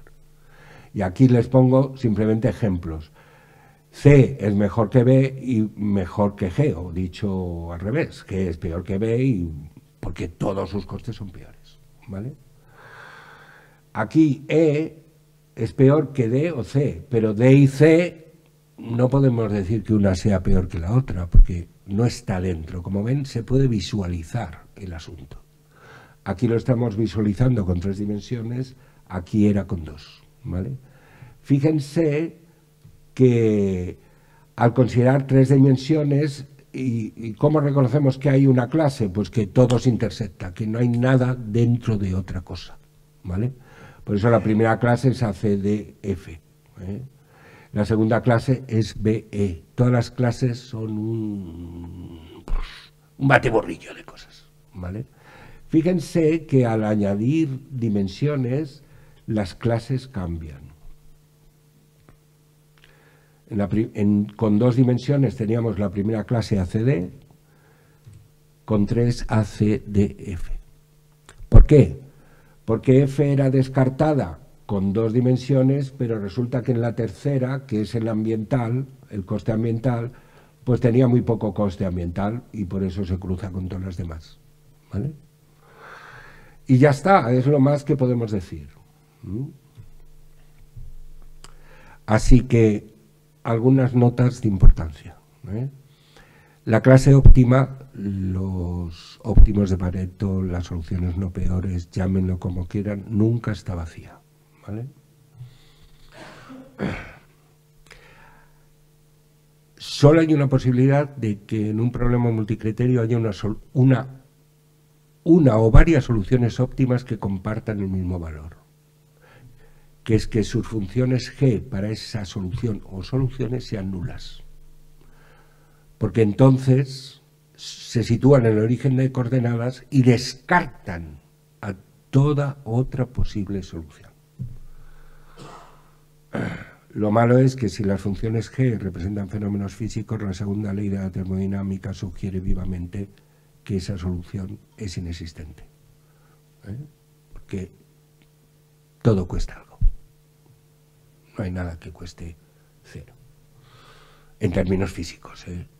términos físicos. Hay otra cosa interesante que es que el conjunto de óptimos de Pareto es algo que emerge. Y no solo emerge, sino que se autorreferencia. ¿eh? En el sentido de que para definir las clases tengo que tener en cuenta todas. Es más, si encuentro una solución nueva que antes desconocía, tengo que volver a reorganizar las clases, porque a lo mejor esa solución, todo ese árbol de descartes, que no el filósofo, de descartes de descartar, eh, que hemos visto que es fácilmente comprensible cuando se ve visualmente, pues si nos aparece una solución por ahí en medio, puede iniciar otra cadena de descartes, ¿vale? Y de hecho, eh, las soluciones no peores solo podemos estar seguras de haber encontrado todas si hemos encontrado todas las soluciones aceptables. Así que hay una cierta incertidumbre. ¿vale? Y una solución peor solo se reconoce si se encuentra una que es mejor. Imagínense que no hubiera calculado para mi cliente la de hormigón armado. Entonces no sabría que la de acero es peor. Porque la de acero es peor y descartable una vez que tengo la solución de hormigón armado. ¿Mm? Si no, no. Me hubiera quedado, le hubiera dicho, Javier, ¿qué prefieres? La misma rollo que antes, pero entre la de acero y la de madera. Porque es que estoy vago y no... ¿Y por qué no has calculado el hormigón armado? Chico, es que estoy aburrido. Pero bueno, si me pagas, te la calculo. Y entonces descubriríamos que... Vale, voy acabando. La incertidumbre o subjetividad, que para mí es la sal de la vida, ¿eh? pues está asociada a los modelos empleados, está asociado, y esto es muy importante, a... Hemos considerado los costes que queremos para representar el problema que queremos ver. Hemos troceado la vaca como cocineros, hemos troceado la vaca como anatomistas, en fin. ¿eh? Este es un problema, eh, bueno, un problema, un asunto súper importante, ¿eh? como bien ha mostrado mi telonero favorito.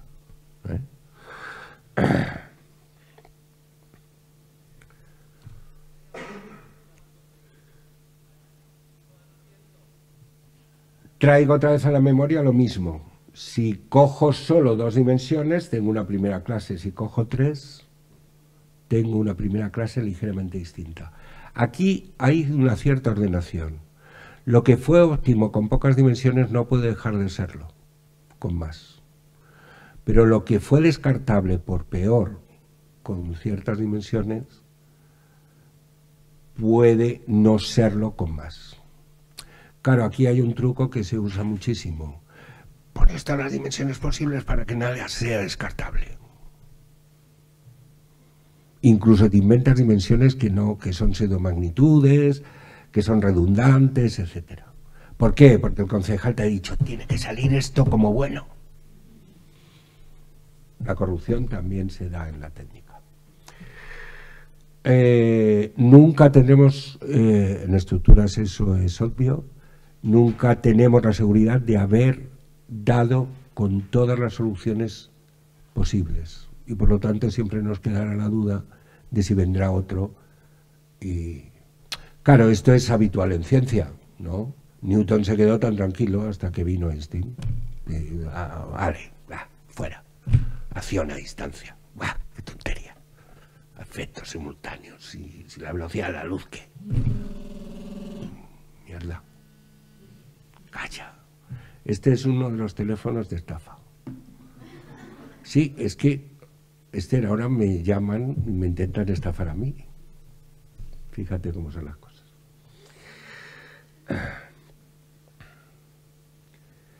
Bueno, incluso si todas las incertidumbres de antes no existieran, está la incertidumbre o subjetividad de que, salvo que el conjunto de Pareto solo tenga un elemento, cosa rara, hay que elegirlo subjetivamente. No hay otra.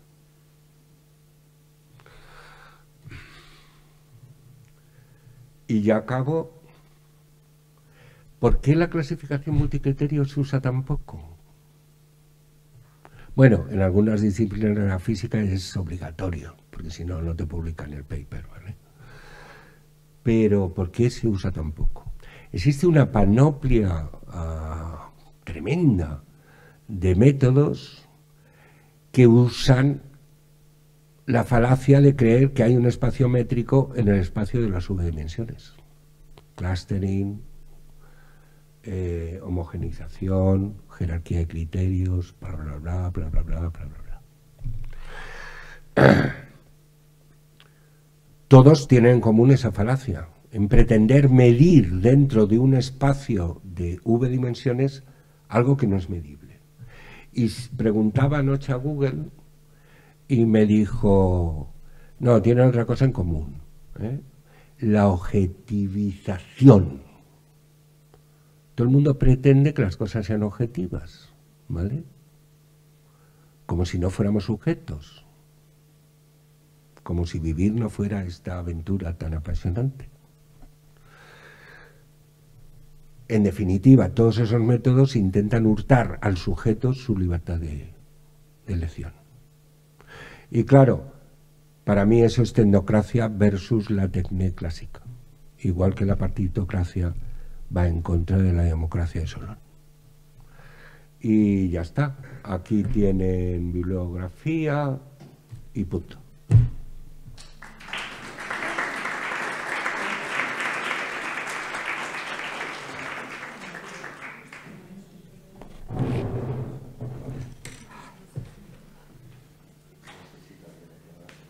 Yo lo he entendido, por lo menos ya. Bueno, pues tenemos diez minutitos para, para preguntas. Voy a dar la luz y os voy pasando el micro porque si no, no se queda grabado, ¿vale? ¿Dónde se da la luz?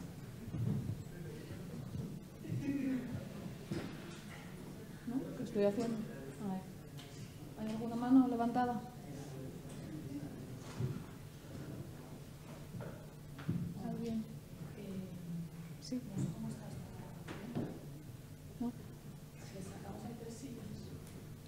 Sí, igual sí. Os, os podéis poner a, aquí o...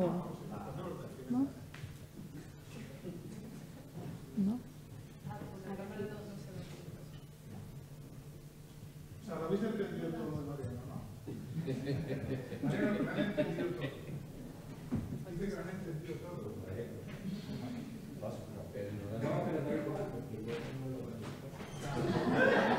Eso es la, eso es la pregunta.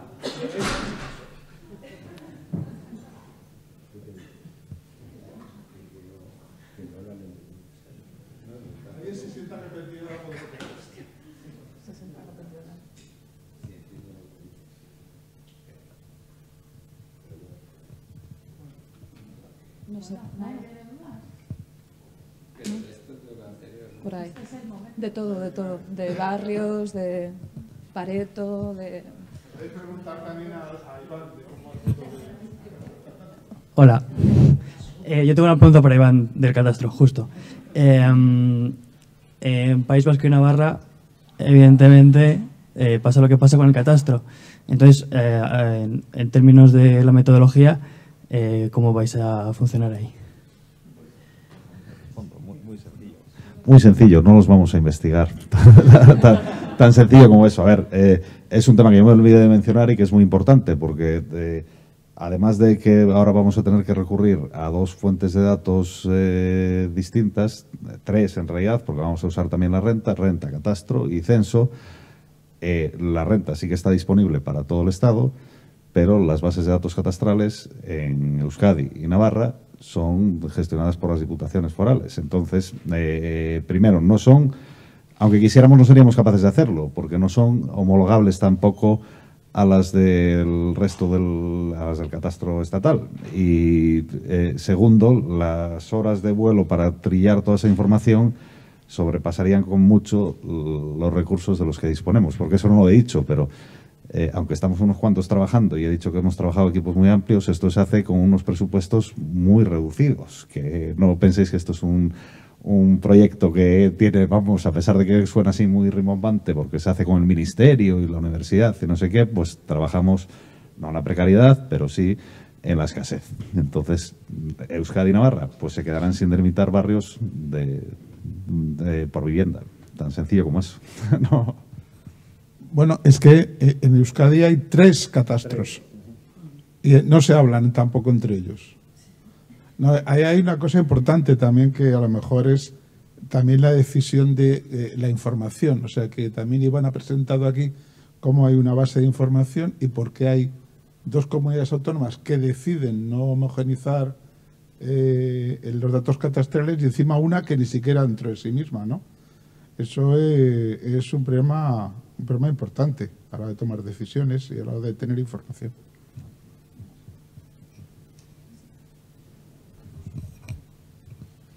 Em, yo tengo una duda también para Iván. Eh, nosotras que nos interesa eh, el análisis de la edificación, si puedes explicar un poquito esas categorías que establece Catastro, en base a qué son, eh, y si hay algún componente en el que nos podamos ir acercando hacia eh, la vulnerabilidad energética o saber qué características puede, o sea, que sigue parece, salvo que ahora me lleves la contraria, que, que la parte respectiva respecto a la vulnerabilidad energética vamos a seguir sin poder mapearla del todo. Eh, a ver, pues eh, lo he dicho, pero lo reitero ahora. Eh, las bases de datos de catastro se construyen y se actualizan para cobrar impuestos. Entonces, el resto de los usos que hagamos de ellas son usos espúreos, que utilizaremos pues porque cogemos y trillamos los datos y hacemos lo que podemos con ellos. Pero eh, no están pensadas para eso. Entonces, la categoría de la edificación en concreto, ¿de dónde sale? Esto sale de una, mm, un inventario de construcciones que elaboró en su momento Catastro en el año setenta y tantos, en el que va fichando pues una taxonomía típica en función de la antigüedad y de las características constructivas de los edificios. Pues edificio de vivienda unifamiliar con carpintería de madera y forjado de no sé qué tipo. Bueno, una ficha bastante completa que representa cada una de las categorías y con la casuística concreta adaptada primero, en términos generales, este inventario es general para todo el Estado y luego cada municipio, cuando elabora su ponencia de valores, tiene que añadir una justificación y fichar sus edificios dentro de esas categorías. Problema. Eh, en realidad hay una componente, porque es un problema multicriterio, como de los que planteaba Mariano. Entonces, hay una componente política básica en la toma de decisiones de qué categoría asignas a cada construcción y, si son comparables entre sí. Eso ya lo hemos detectado. ¿Por qué? Porque hay municipios que tratan de exprimir la fiscalidad del IBI y entonces gradúan, gradúan mucho la categoría, porque esto afecta bastante al valor de la construcción y por tanto al impuesto. Y si luego gradúan mucho, eso significa que la distribución pues tiene muestra en todas las en todas las categorías, pero hay otros que no. Por ejemplo, nos hemos encontrado que hay muchos municipios del sur de Madrid en concreto Fuenlabrada o, o Leganés, que tienen prácticamente todo su parque asignado en dos categorías y no hay prácticamente graduación, no hay muestra en inicio, ni en, la cola, ni en la cabeza de la distribución. Entonces, eh, ¿es útil? Bueno, sabiendo lo que estamos usando, sí. Y respecto al comportamiento energético de la edificación, a ver, de lo, que se puede obtener de, de catastro, y eso yo sí que creo que tiene bastante futuro, son eh, parámetros masivos sobre el factor de forma, que es un tema básico, más allá de las características constructivas de los edificios, pero en los archivos catastrales, en, el CAT en concreto, además de sacar parámetros dimensionales y de uso, puedes obtener eh, parámetros referidos a la forma de los volúmenes construidos. Y eso yo creo que será de utilidad. Las características constructivas, hasta donde yo sé, Catastro tiene interés en incorporar temas de certificado energético, pero lo hará de forma paulatina y, de hecho ahora mismo las bases de datos no son comparables tampoco. Si lo habéis visto, por ejemplo, en, Madrid tenemos la suerte de que tenemos los planos por edificio ya dibujados en todo el territorio, pero en otras comunidades pues no existe eso todavía, digamos. Eh, y otra cosa que, hay que insistir siempre, la edad del catastro es fiscal, no real. O sea que el, el catastro da una edad o sea, tú haces una, una rehabilitación de ese edificio y él te va a poner una edad para cobrarte un precio. O sea, no es una edad real. Entonces eso también hay que matizarlo, hay que verlo. O sea, que, el catastro es un sitio, un espacio muy, muy complejo. Y volvemos que lo pasaba antes con, las, con los datos del INE. Es que no están hechos para lo que nosotros queremos. Está hecho para cobrar. ¿Puedo, ¿Puedo preguntar? ¿Hay alguien más por ahí? ¿Por ahí? Entonces me quedo para el final, por si no hay tiempo. Eh, ¿Qué supone estar clasificado como barrio, o sea, como barrio vulnerable? ¿Tiene eh, alguna medida obligatoria lo, por parte de la Administración?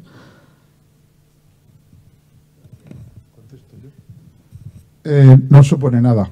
O sea, vamos a ver esto es un trabajo a nivel nacional para tener una imagen de lo que ocurre. España tiene un convenio, tiene, o sea, esto se mantiene porque hay unas políticas europeas que te obligan a tener un catálogo, un observatorio de vulnerabilidad. Pero el observatorio de vulnerabilidad no implica nada. Realmente esta herramienta para lo que sirve es para que un municipio vea cómo está él en relación a otros y ya tome las decisiones políticas que él determine. Porque además recuerdo que en el caso español todo el gran parte de las atribuciones están, las competencias están en las comunidades autónomas y luego a los pobres ayuntamientos que no tienen dinero para nada eso toca otra cosa, ¿no? No tiene una virtualidad política, tiene una virtualidad de información de la situación. Tendría un, tiene un cierto interés desde el punto de vista que puede servir para establecer algo parecido a una política urbana en el momento que alguien quiera, pero es una, un trabajo que eso tiene valor informativo para aquel que lo quiera recibir. Sí que quiero añadir que, a pesar de que es como dice Agustín, sí que hay algunos instrumentos de programación económica que refieren el catálogo como una, como una buena herramienta para justificar las propuestas que se hagan. Pero vamos, que no tiene carácter vinculante y también te digo, mejor que, no lo tenga, porque sabéis que el uso que se está haciendo de este tipo de limitaciones en determinados países, pues no sé, en, Dinamarca ahora mismo han delimitado, han delimitado unos barrios y han dicho, pues ala, aquí toda esta gente fuera, porque estos son los barrios chungos, porque, eh, a ver, pensad que esto tiene doble lectura. Por un lado, claro, os decía que nosotros nos movemos en el espectro, y lo voy a poner muy entre comillas, de los que operamos por el bien. Pero hay muchos operadores que operan por el mal, que vamos, cuando digo el bien me refiero a que trabajamos porque pensamos que la ciudad debe ser mejorada, pero hay gente que no cree eso y que trabaja para otras cosas. Y vamos, que aquí entra la política y las empresas y mil cosas. En el caso danés o en el caso de, Holanda, realmente se hace un uso espurio del, del, valor del catálogo. Dice, este barrio es malo porque tiene muchos emigrantes. Así que vamos a sacar a los emigrantes de aquí y vamos a rehabilitar y meter en casas nuevas a gente como vosotros, pero con empleo, ¿no? Blancas con empleo y estudios, ¿no? Para que el barrio mejore. O sea que, de nuevo ahí es lo que decía también Mariano, como, o sea, que el indicador puede servir para, oye, aquí hay, ocurre una cosa, pero en vez de reconocer la realidad de esa población, lo que hace lo utiliza para hacer políticas de optimación económica, luego aparecen una serie de empresas eh, que se supone que trabajan en espacio social, pero lo que hacen es también pasa en Francia. En Francia también los HLM de repente deciden un día que, que vacían a la población emigrante porque van a reducir la, la vulnerabilidad de ese barrio. Pero claro, eso es una cosa... Mm, como dice Iván, nosotros no queremos eso. Bueno, yo quería preguntar también, por aclarar un poco el uso de los indicadores y de ese multicriterio, si en el catálogo de barrios no estáis sumando cosas, ¿no? Que es lo que dice Mariano que no se puede hacer. Ahora me va a reñir todo el mundo. Entonces, solo por tener uno de los indicadores ya se delimitaría o cómo, tratáis eso. Y luego, eh, al final de la intervención de Mariano, he creído entender que cuantos más criterios, peor. Entiendo que es porque no los vamos a saber cómo comprender, ¿no? Porque tres los puedes poner en ese dibujo, aunque no se pueda medir, pero más de tres ya es como que es más difícil. O en Pareto, ese código que decías que podías pasar, puedes meter muchos más. Y ahí, eh, mejor, peor, porque es contraintuitivo, ¿no? No lo sé. Muy rápidamente, eh, un barrio entra porque cumple, cumple, todo el barrio tiene que cumplir al menos un valor crítico. Entonces, todo el catálogo se compone de todos los barrios que tienen al menos un valor crítico. Luego, ya lo que se hacen es clasificaciones gráficas y esa clasificación de punto gordo, que creo que repugna un poquito a Mariano, de, las más vulnerables, menos vulnerable, tiene una ventaja desde nuestro punto de vista de que alguien la puede repudiar, puede decir, no, mira, pues estos números a mí no me convencen o sí, o habría que ir a una cosa más compleja como la que hace Mariano de intersección, pero en realidad lo que hemos hecho es un punto gordo.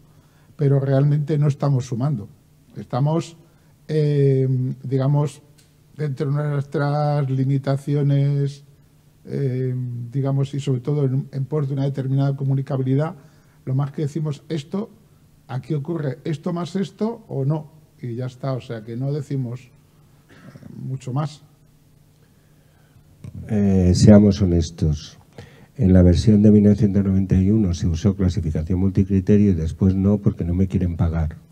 Se quieren todo el dinero para ellos. Eh, eh, la gran fortuna, efectivamente, pobrecitos. En realidad cobran una miseria porque han ido reduciendo el presupuesto. Eh, por otra parte, yo creo que Gus Suma, aunque le había prometido en privado, pero como cuando, cuando hace ese cuadrito de vulnerabilidad severa y no sé qué, yo creo que está sumando. Lo que pasa es que es una suma, bueno, vale, pues a lo mejor no es una suma. Lo que yo veo es que se ha sustituido, eh, se han eliminado las funciones G y simplemente lo habéis sustituido por funciones umbral de aceptabilidad o no. Que no me parece mal, eso no me parece mal, porque eso es legítimo, ¿vale? Y respecto de tu pregunta, Nerea, la cuestión es que, como decía antes Agustín, eh, las matemáticas pueden servir para lo bueno y para lo malo, ¿vale? Lo que a ver, es un problema ya más... Eh, es el metaproblema. ¿eh? Y de hecho es un problema multicriterio, a su vez. ¿Cuál es el número bueno de criterios para representar un problema? ¿Vale? Entonces ahí hay desarrollos en que te permiten, por ejemplo, ver si dos dimensiones son redundantes entre sí, es decir, que están representando lo mismo, y por lo tanto puedes eliminar una. ¿eh? Y, claro, pues por ejemplo en temas, diríamos así, más disciplinares o más propiamente cuantitativos, como la mm, biología evolutiva, la genética o la mecánica clásica, pues realmente eh, más o menos tienes claro cuáles son las dimensiones que quieres para elegir un avión o para intentar explicar pues la diversidad en determinado nicho ecológico, ¿vale? Pero lo que he intentado enfatizar antes, o sea que, en definitiva, debe haber unos números buenos de dimensiones. Por eso la elección de las dimensiones es un problema no objetivable a su vez, ¿vale? porque es a su vez un problema multicriterio, pero es de, suma importancia, porque si tú quieres eh, sustituir un relato mm, del conocimiento, por ejemplo, de la ciudad por números que concuerden con ese conocimiento de la ciudad, pues tienes que dar con unas dimensiones adecuadas, porque empiezas a coger dimensiones al tuntún. Pero a lo que también me refería es, a ver si lo consigo explicar, yo cada vez que leo, cada vez que leo, en la prensa, en la radio, no, esto es un problema que van a optimar los técnicos, no suelen decir optimar, sino optimizar, que es un barbarismo, pues digo, ya estamos, ya van a decir lo que les sale de las narices. Porque claro, mi tesis era sobre optimación y, mis ordenadores han estado tantas horas, tantas horas, trabajando para obtener soluciones óptimas en problemas unidimensionales, unidimensionales, como el primero que he planteado, que la gente es que usa, por eso me refería al glosario al principio, es que la gente usa optimar en vez de decir mejorar con un poquito más de pudor. No, esto, eh, otra frase, con esto vamos a optimar la utilización de los recursos. O sea que no van a hacer ustedes absolutamente nada con los recursos salvo consumirlos. Esa es la clave. Porque lo más que se puede decir es vamos a minorar el uso de recursos, vamos a mejorar la gestión de los recursos, pero optimación son palabras mayores, son palabras muy gruesas, muy gruesas. Pero vivimos en las fake news. Y entonces, una manera de que salga lo que el concejal quiere es ir añadiendo dimensiones, pseudomagnitudes, redundancias, hasta que la puta solución del concejal, que es la que le va a dar la comisión al coldo, salga como dentro del óptimo de Pareto. Y entonces en el pleno municipal dice, pues esa. Como objetivamente no se puede elegir, pues esa. Ya está. ¿Sabes ¿Cuál es el barrio más vulnerable de Madrid? Según el Ayuntamiento de Madrid, Ibiza.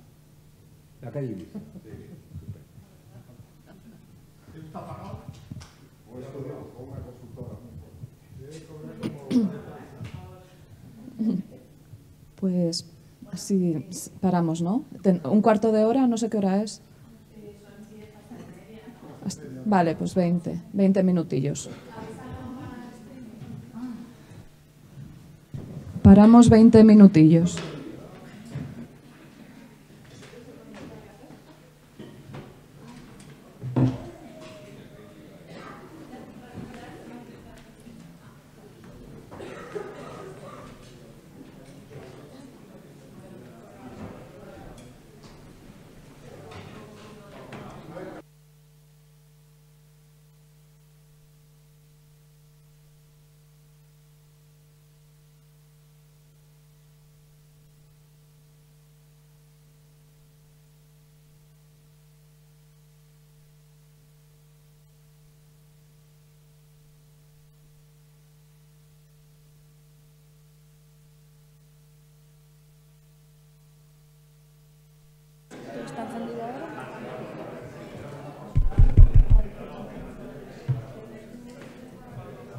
Carmen igual te presentaba mejor. Calcula ver un poco menos.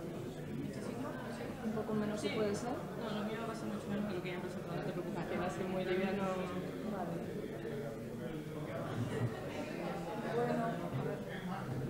Hola. Vale, vamos, vamos a ir empezando porque andamos un poco mal de tiempo. Eh, y bueno, tenemos ahora dos, dos ponencias y para que nos quede un poco de tiempo de, de debate, porque hay, tenéis clase a las doce y media mucha gente, entonces por no porque dé tiempo a, preguntar, ¿vale? Entonces ahora está Patricia San Nicolás, que, que está en este proyecto Build Space y bueno, ya ha comentado antes Carmen que bueno, que que nos vas a hablar en el marco de la tesis y de lo que es la vulnerabilidad, la respuesta al calor y demás, así que nada. Hola, se escucha muy bien. Bueno, mi nombre es Patricia San Nicolás Vargas, trabajo aquí como investigadora en la Universidad Politécnica de Madrid, en la ETSAM, y voy a presentarles ahora eh, algunas eh, nuevas concepciones acerca de la vulnerabilidad, eh, con un análisis de indicadores para el estudio ah, de la vulnerabilidad al calor. La presentación eh, se estructura de la siguiente forma. Primero voy a, hablarles sobre el proyecto Build Space, que es un proyecto en el que estamos trabajando. Luego pasaremos a revisar algunos conceptos de riesgo y vulnerabilidad en línea en cómo está planteado eh, desde el IPCC.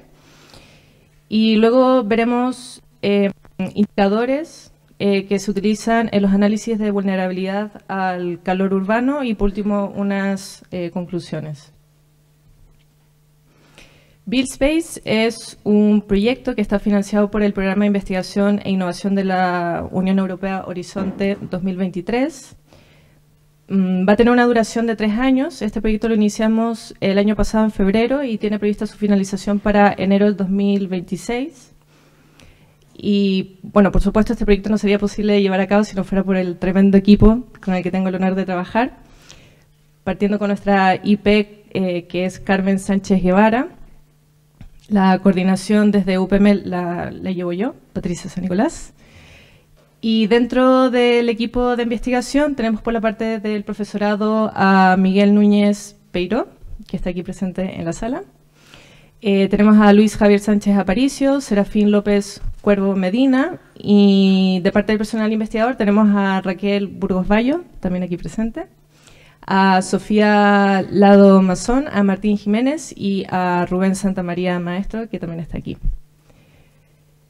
Este proyecto eh, eh, se conforma por un consorcio de 14 entidades cuya coordinación la lleva eh, Singular Logic junto con Space Hellas. Estos son de Grecia y están especializados en la implementación de mm, tecnologías y software.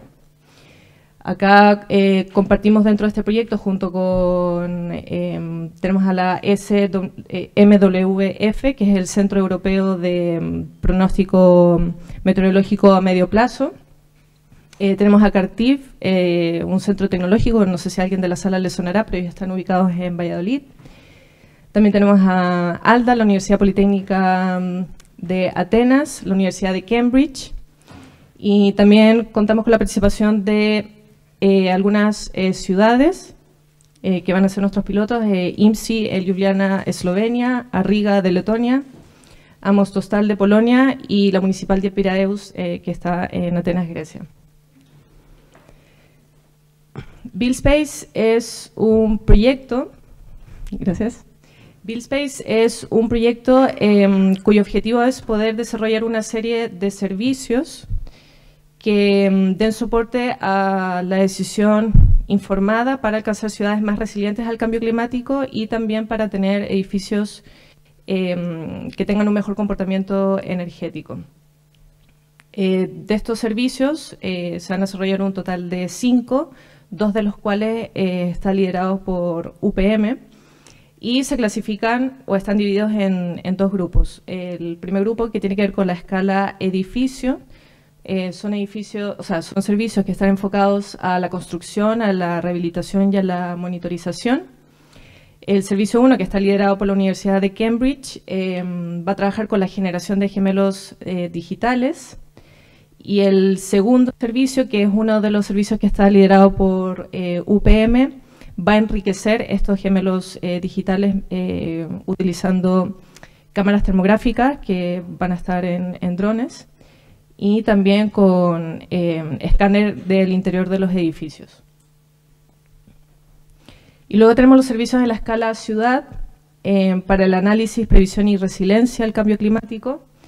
El servicio número 3 Em, va a buscar evaluar el comportamiento energético de los edificios bajo diferentes eh, escenarios climáticos, eh, siguiendo la línea del IPCC. El servicio 4, este, el, otro servicio que estamos liderando desde UPM, que ya les contaré un poquito más eh, sobre esto, que va sobre el análisis del calor urbano y resiliencia. Y por último, el servicio 5, que es análisis de inundaciones urbanas y resiliencia. Estos servicios, además, em, van a utilizar datos de Copernicus, em, que Copernicus es un programa que eh, a su vez tiene sus propios servicios. Em, de ellos vamos a utilizar el de cambio climático, el de monitorización de la Tierra y de la atmósfera, y todo esto está eh, siendo implementado por la SMWF.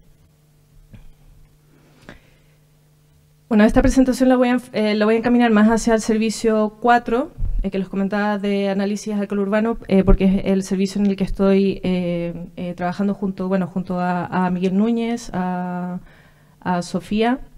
Y bueno, ahora tenemos también la cooperación de Jesús Lizana de la Universidad de Oxford. Este es un servicio en el cual vamos a buscar analizar el calor urbano y su distribución dentro de las ciudades pero también vamos a calcular el riesgo al calor urbano eh, teniendo en consideración factores de, vulnerabilidad. Y también vamos a incorporar eh, soluciones de mitigación y adaptación al calor urbano. Entre las funcionalidades principales que vamos a desarrollar dentro de este servicio Primero está la, identificación de hotspots dentro de, las ciudades de tal forma que nos permita eh, reconocer cuáles son eh, las áreas prioritarias de intervención. También vamos a crear eh, series temporales de temperatura y humedad para diferentes zonas urbanas climáticas, que bueno, no lo mencioné anteriormente, pero en esta figura acá, esto es de la tesis de Miguel Núñez, Em, que bueno, este em, es de la Comunidad de Madrid, donde se realizó una, em, se establecieron zonas urbanas climáticas a partir de la severidad climática para cada una de ellas. Y de acá se pudieron eh, también crear archivos climáticos con los que eh, después se pueden hacer simulaciones energéticas. y lo novedoso que tiene es que está incorporando el calor urbano dentro de estas simulaciones. Em, también vamos a generar esta guía de soluciones de mitigación y adaptación Y por último, estamos buscando eh, que el servicio pueda ser replicable en la escala mm, europea y esto debo admitir que está siendo todo un desafío eh, dentro del proyecto, pero eh, creo que lo vamos a, lograr. Ahora vamos a mm, revisar los conceptos de riesgo y vulnerabilidad, tomando en consideración que, claro, que esto lo vamos a ir aplicando también en nuestro trabajo. Em, pero desde em, el planteamiento, tal y como lo tiene el IPCC, que es el panel intergubernamental de expertos sobre el cambio climático. Entonces vamos a ver cuál es la definición del riesgo, que este eh, se define como el potencial de consecuencias adversas para los sistemas humanos o ecológicos, reconociendo la diversidad de valores y objetivos asociados a tales sistemas y en el contexto del cambio climático, los riesgos pueden derivarse de los impactos potenciales del cambio climático, así como las respuestas humanas al cambio climático. Y me gustaría hacer énfasis en esta última línea sobre que los riesgos pueden derivarse también de las respuestas, de cómo respondemos a, estos, a, estas amenazas climáticas, ¿no? que normalmente no suelen estar o no se suelen considerar dentro de los análisis de, eh, de riesgo. Ahora em, vamos a ver una serie de gráficos de cómo ha ido evolucionando los últimos años esta figura del riesgo, cómo se, cómo se entiende, cuáles son sus determinantes. En esta figura em, de acá, esta es del el, informe previo al que se publicó en 2022, este corresponde al del 2014, el AR5, y así es como se entendía el riesgo ¿no? en esta figura.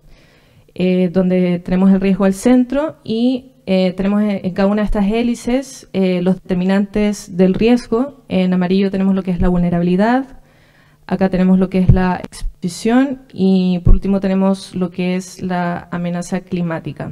Y estos determinantes son los que finalmente van a componer el riesgo. Y en un marco externo aparecen, em, digamos, las causales que van a influir sobre, sobre este riesgo, donde encontramos los procesos socioeconómicos, las emisiones, el cambio de uso del suelo, el clima, su variabilidad eh, natural y también las aportaciones antropogénicas.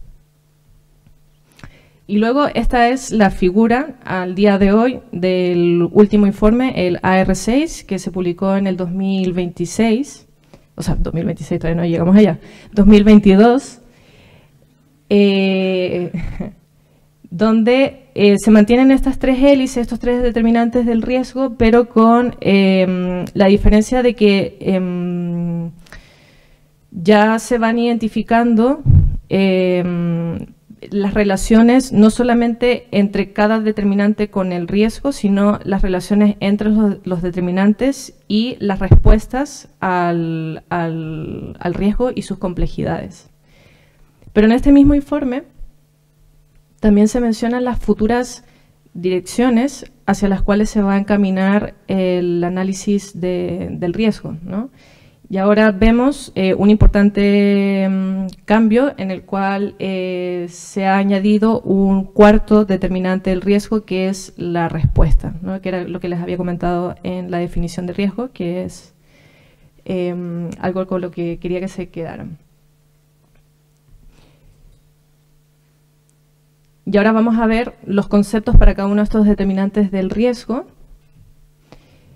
Empezamos por lo que es la amenaza, que es el potencial de ocurrencia de un evento físico o natural y que puede causar algún tipo mm, de, daño, ya sea impacto de la salud, daños y pérdidas de la propiedad, la infraestructura, etc.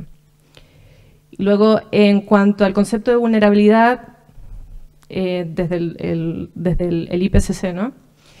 Eh, se entiende como la predisposición a verse afectado negativamente y engloba eh, los conceptos de sensibilidad, el de la capacidad de adaptación y también la capacidad para hacer frente a, mm, la amenaza climática. Luego, en cuanto a la exposición, hace referencia al, al qué o el quiénes eh, se podrían ver afectados por esta amenaza. Em, en cuanto a su definición, se entiende como la presencia de personas, de especies o ecosistemas, funciones, servicios y recursos eh, medioambientales, también están las infraestructuras inclusive, o los activos económicos, sociales o culturales. Y luego por último tenemos el de la respuesta, que es este, este añadido, ¿no? este cuarto determinante, que es el que eh, probablemente vayamos viendo que se incorpora en los futuros análisis del IPCC, entendida como los riesgos derivados de la posibilidad de que las respuestas no alcancen los objetivos previstos o de posibles efectos eh, secundarios negativos, ¿no? porque quizás estamos dejando al margen aquellas consecuencias de cuando estamos enfrentándonos a una amenaza X, en este caso una amenaza climática, tratamos de responder a ella, pero no estamos considerando los posibles efectos adversos. Ahora bien, em, voy a pasar a comentar sobre las interacciones de riesgo porque esto también es súper importante y también va encaminado hacia las futuras direcciones de, todo este tipo de análisis. Entonces, eh, se plantean tres diferentes, em, digamos, niveles de, análisis y, y, en su complejidad. Entonces, el primer, el primer nivel tendríamos al centro lo que es el, riesgo a una amenaza climática determinada que estemos analizando, donde vamos a estudiar las interacciones entre los, entre los diferentes determinantes del riesgo, que en este caso tenemos lo que es la amenaza climática, la vulnerabilidad, la respuesta y la, mm, y la exposición. Este sería como nuestro primer nivel. Luego en un segundo nivel, además de, mm, además de estudiar cómo son las interacciones entre estos determinantes, también estudiaríamos eh, de qué forma interactúan los impulsores de cada uno de estos determinantes y cómo podrían interactuar impulsores entre diferentes determinantes del, riesgo. Y estos pueden ser unidireccionales, bidireccionales, agregados. Y luego, por último, el tercer nivel de complejidad para este tipo de análisis, que es eh, la interacción entre riesgos, que ya no solamente llegamos a nivel 2, ¿no? el del medio, sino que además eh, contraponemos esto con el análisis de otro riesgo que podría estar interactuando con el que ya estamos eh, previamente analizando. Estos pueden ser de tipo agregado, o sea, que estemos en una situación en la que simplemente se dé una sumatoria de diferentes riesgos a diferentes amenazas climáticos. Puede ser de tipo compuesto, o sea, unidireccional o bidireccional, o sea que em, hay una reciprocidad entre ellos. Y del tipo eh, cascada, o sea que uno va derivando en, otro.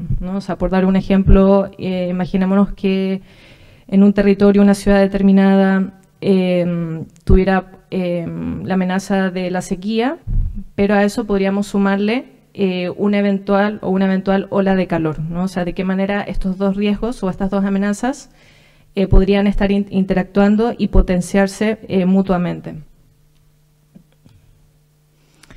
Ahora vamos a volver lo que es la vulnerabilidad. Habíamos dicho que es la predisposición a verse afectado negativamente y que engloba estos eh, tres eh, conceptos de mm, sensibilidad, eh, capacidad de adaptación o, bueno, o falta de capacidad para adaptarse y la baja capacidad para, afrontar. ¿no?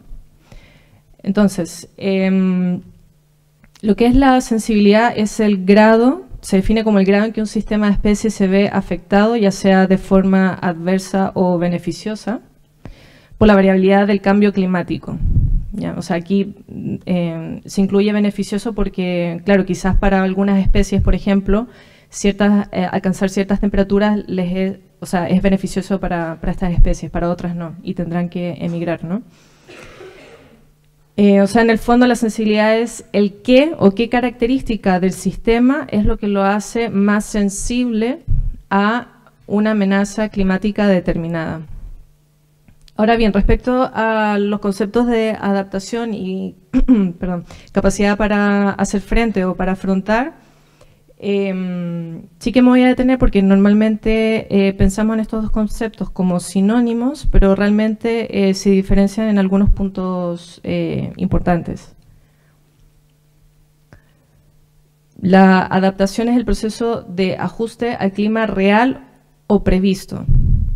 O sea, no solamente mm, voy a pensar en, cómo me puedo yo adaptar en cuanto a mi situación actual, sino que también voy a tener en consideración el, clima a futuro, ¿no? Y de qué forma me puedo preparar para, ello.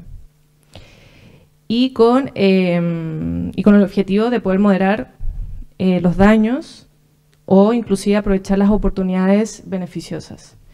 En cuanto a la capacidad para hacer frente o para afrontar, entendemos como la capacidad para abordar, gestionar y superar las condiciones adversas con el objetivo de lograr el funcionamiento básico a corto y mediano plazo. Y esto puede ser aplicado para todos los eh, sistemas. Ahora vamos a, ver eh, las diferencias. Eh, bueno, primero, la adaptación está orientada a largo plazo, como lo habíamos comentado, tanto el clima real como previsto.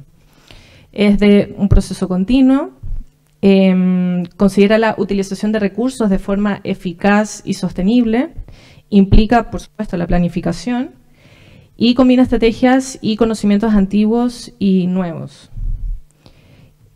por otra parte, la capacidad para hacer frente es de características de corto plazo, es inmediato, está orientado a la supervivencia, no son continuas, son más bien reactivas y motivadas por la crisis. Y eh, son impulsadas por la falta de alternativas. O sea, en el fondo cuando tenemos una falta de planificación de adaptación. Ahora vamos a ver em, la vulnerabilidad desde la perspectiva del calor urbano. Vamos a hacer una revisión de indicadores. Eh, me gustaría señalar que em, lo que voy a presentar ahora es el resultado de una revisión de la literatura científica en el que se hayan em, llevado a cabo análisis de vulnerabilidad al calor y considerando también eh, todos los conceptos que hemos revisado ahora eh, que van en línea con, el IPCC. Entonces, bueno, tenemos lo que es la vulnerabilidad. Habíamos dicho que engloba estos eh, dos principales conceptos, sensibilidad, capacidad de adaptación. Y en cuanto a los indicadores de sensibilidad, estos se agrupan principalmente en indicadores de la población, indicadores del medio ambiente y del entorno construido. En cuanto a los indicadores de capacidad de adaptación, tenemos, em, están agrupados en indicadores económicos, de salud, del entorno construido y medioambiental también. Y tenemos este tercer grupo que tiene que ver con los indicadores para la validación, que em, esto es, em, tiene un grado de importancia porque sobre todo cuando estamos trabajando con indicadores eh, socioeconómicos demográficos, uno de los principales retos que tenemos es la falta de datos o la falta de homogeneidad en, los datos. Entonces, em, muchos de estos estudios cuando incorporan el factor socioeconómico demográfico, pensé que se había ido la luz, pues no tendría sentido. Em, muchas veces, a falta de datos, no sabemos si el modelo de evaluación que hemos propuesto, que estamos desarrollando, es correcto o si nos está arrojando eh, la, información tal y como debería ser. Porque claro, es diferente cuando vivimos en una ciudad, conocemos la ciudad y podemos hacer una evaluación de los resultados y más o menos tenemos una guía de si los resultados que estamos obteniendo tienen sentido o no. Pero ¿qué pasa cuando tenemos que hacer un análisis de una ciudad a la que nunca hemos ido y de la cual no conocemos. Entonces, en este caso, eh, bueno, en general yo diría que siempre eh, lo ideal es poder hacer una validación de estos, de estos modelos. Entonces, vamos a revisar eh, los indicadores que acá se van a mostrar son los, eh, son los, indicadores que más se suelen utilizar en este tipo de estudios, son digamos los que más se repiten, eh, los más populares, por decirlo de una forma. Los indicadores de sensibilidad del grupo de población tenemos desde el ámbito de la salud, porque claro, no hay que perder de vista que estamos hablando de análisis de vulnerabilidad al calor, ¿no? entonces por lo tanto estamos viendo todos aquellos indicadores que nos, que nos puedan dar una luz respecto a la sensibilidad Em, que puedan tener al calor, eh, bueno, en este caso calor urbano. Entonces, en salud tenemos eh, indicadores sobre población con enfermedades preexistentes, personas con discapacidad, En sociales se suele utilizar mucho también lo que es la composición del hogar, sobre todo eh, poder identificar adultos mayores que, viven eh, solos. Educación, eh, los económicos, bueno, indicadores relativos a la pobreza, porcentaje de población en riesgo de pobreza o por debajo de la línea de la pobreza. Y demográficos, este es uno de los más populares, sobre todo el de edad, en el que se mm, diferencian em, menores de 5 o incluso, inclusive también menores de 10 años, y eh, mayores de 65 y mayores de, de, 75. Y bueno, también tenemos de sexo, de porcentaje de mujeres y porcentaje de hombres. Sí, más o menos.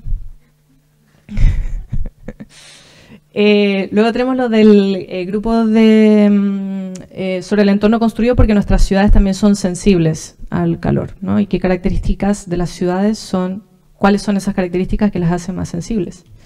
Entre ellas tenemos lo que es la permeabilidad de las superficies, el albedo, el sky view factor, que es la, proporción, o sea, la porción de cielo que tenemos visible, que eso influye tanto para la incidencia de la radiación solar que da sobre las superficies, así como la capacidad de poder ceder ese calor acumulado a lo largo del día a la bóveda celeste. Eh, tenemos también el año de construcción de la edificación, que bueno, este en realidad se relaciona bastante con lo que es eh, la eficiencia energética del parque edificado. ¿no? Em, no siempre tenemos estos datos, pero sí se pueden construir, o sea, se pueden analizar em, con otros, por ejemplo, con el del año en caso de que no tuviéramos el de la eficiencia energética. Luego del grupo de mm, medio ambiente, ojo, seguimos en sensibilidad. Eh, tenemos eh, la presencia de vegetación, la presencia de agua, la calidad del aire. Esto es muy, importante porque habíamos hablado de que el primer grupo de la población habían unos indicadores de salud, eh, uno específico sobre enfermedades preexistentes. Entonces, por supuesto, si estamos en una ciudad en la que estamos teniendo altos índices de contaminación del aire, eso va a derivar o eh, desencadenar en, problemas de salud en la población y por tanto los va a hacer más sensibles al calor urbano. Eh, tenemos la contaminación acústica, que esto eh, también es importante, no sé si a alguno le ha pasado, a mí me ha pasado de que en verano quiero ventilar cuando voy a dormir, pero tengo que decidir o ventilo o no duermo por el ruido que tengo, que tengo afuera.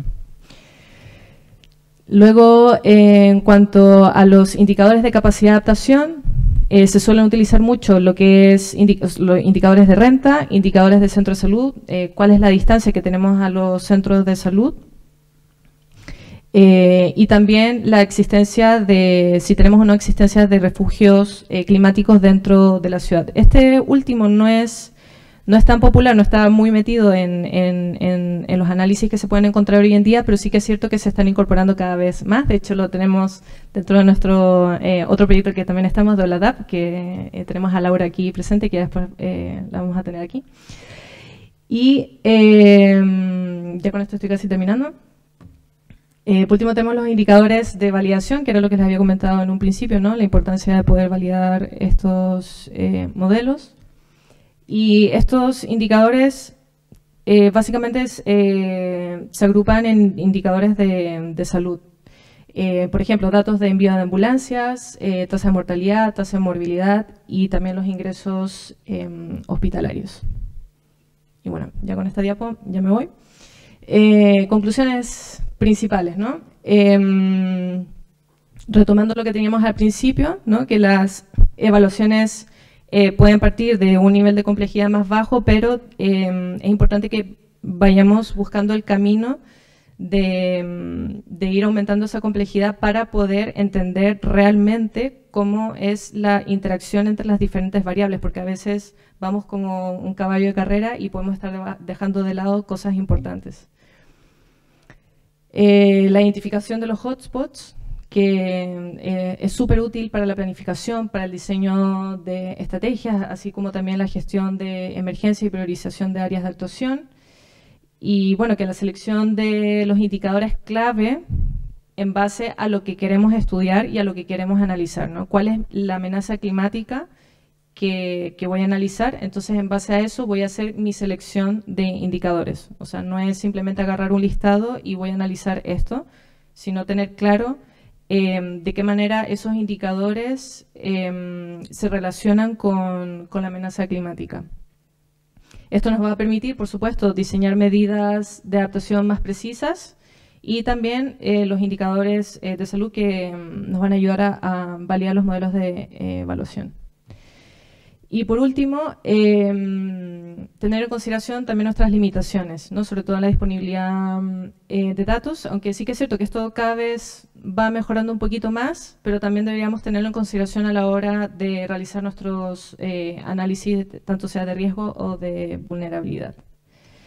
Y con esto ya termino. Eh, que han invitado a que nos sigan en redes sociales bueno, Twitter en realidad, ¿no? Eh, tenemos a Hit, que ahí vamos publicando todas las cosas que estamos haciendo dentro del grupo. Eh, también está el Twitter del proyecto Buildspace, que es el que les, estaba contando al principio de la presentación, donde se va subiendo em, noticias sobre el desarrollo de todos los servicios que estamos em, llevando. Así que eso, muchas gracias.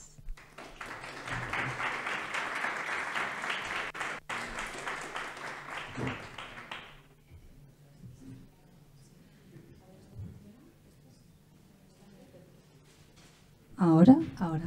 Bueno, eh, disculpad que no he llegado para presentar un poco este bloque, porque Agustín es tan inteligente como para conseguir liarme y, organizar un seminario a la misma hora a la que tengo clase, ¿no? Y entonces todavía no tengo el superpoder de, de estar en dos sitios a la vez, así que me he perdido el inicio de, de la presentación de Patricia. Bueno, sí me gustaría enmarcar un poquito esta segunda parte, que de repente hemos entrado aquí como un pulpo en una cacharrería, no era la vida era más bonita cuando había tres indicadores, no paro, vivienda y, estudios. Era mucho más tranquila también, yo creo, a pesar de los dolores de cabeza que tienen nuestros compañeros con el catastro. Pero bueno, enmarcar un poquito eh, pues estos trabajos que surgen de un estudio eh, que procede de una preocupación por una situación de vulnerabilidad energética de la población y de un estudio de las condiciones de, la edificación desde hace unos cuantos años, combinado con las condiciones de calor urbano en la ciudad, como ya se ha comentado antes, eh, con esa isla de calor y esa, esas nuevas capas de vulnerabilidad me estoy estas nuevas capas de vulnerabilidad que se añaden a, bueno pues eh, a lo que han hecho y siguen haciendo quienes nos preceden en materia de vulnerabilidad pero como eh, esta subida de temperaturas pues nos hace situarnos en una posición en la que hay que empezar a tener en cuenta amenazas climáticas, cómo esa amenaza climática se va a superponer a, a la vulnerabilidad existente en las ciudades eh, y además nos enfrentamos también desde, desde otra escala, donde también empieza a ser muy relevante pues una escala más pequeña, una escala de edificación, de presencia. Patricia ha nombrado un montón de indicadores que ya saltamos de escala y empezamos a hablar pues de, presencia, de presencia de vegetación, trabajamos en escalas de cañón urbano, ¿no? Entonces, eh, pues eh, habéis podido adivinar por la presentación de Patricia que esto se complejiza un poco más. Eh, yo veo a Gus diciendo, madre mía, esta gente que hace cavando y cavando hacia el hoyo con tantos indicadores, ¿no? Y donde, bueno, pues ahora estamos pues sumergidas en un mar de, indicadores que tenemos que ver eh, cómo, gestionamos. por eso también la necesidad de este seminario que entendemos como un encuentro académico en el que, debatir. Agradecemos a Mariano su exposición clara, ¿no? Y entonces yo escucho a Mariano y digo, ¿y qué hago con toda esta ristra de indicadores que tengo ahora, ¿no? No los puedo representar, aunque asuma que no es una, una, representación eh, geométrica que hago. Eh, entonces, bueno, pues aquí estamos, Mariano. Eh, y entonces, ¿eh? ya lo sé. y, entonces, bueno, pues agradecemos eh, también pues todas las aportaciones. Ahora mismo estamos pues en una situación de trabajo en progreso. Decir que Patricia está haciendo su tesis doctoral y que también es un reto para cuando alguien no solo está trabajando en un proyecto, sino está haciendo su tesis doctoral, es ponerla aquí cuenta lo que llevas avanzado, ¿no? A todas nos han puesto en esta tesitura y viene muy bien enfrentarse a esto. Y, ahora la segunda em, ponencia que tenemos, pues tenemos invitada a Laura Quesada, que es, doctora, arquitecta por la Universidad del País Vasco, trabaja en el grupo de investigación SAREN, eh, que lidera Leire Garmendia, y son socias nuestras en, en este proyecto estatal que se llama OLADAP, eh, donde trabajamos por generar una herramienta de adaptación de las ciudades a, las olas de calor. Eh, somos tres, es un proyecto coordinado, entonces em, eh, lidera uno de los proyectos lo lidera la Universidad del País Vasco, del País Vasco con Leire Garmendia, otro proyecto lo lideramos desde UPM y, otro de los subproyectos está liderado por la Universidad de Extremadura, por darle un poco de contexto a esto.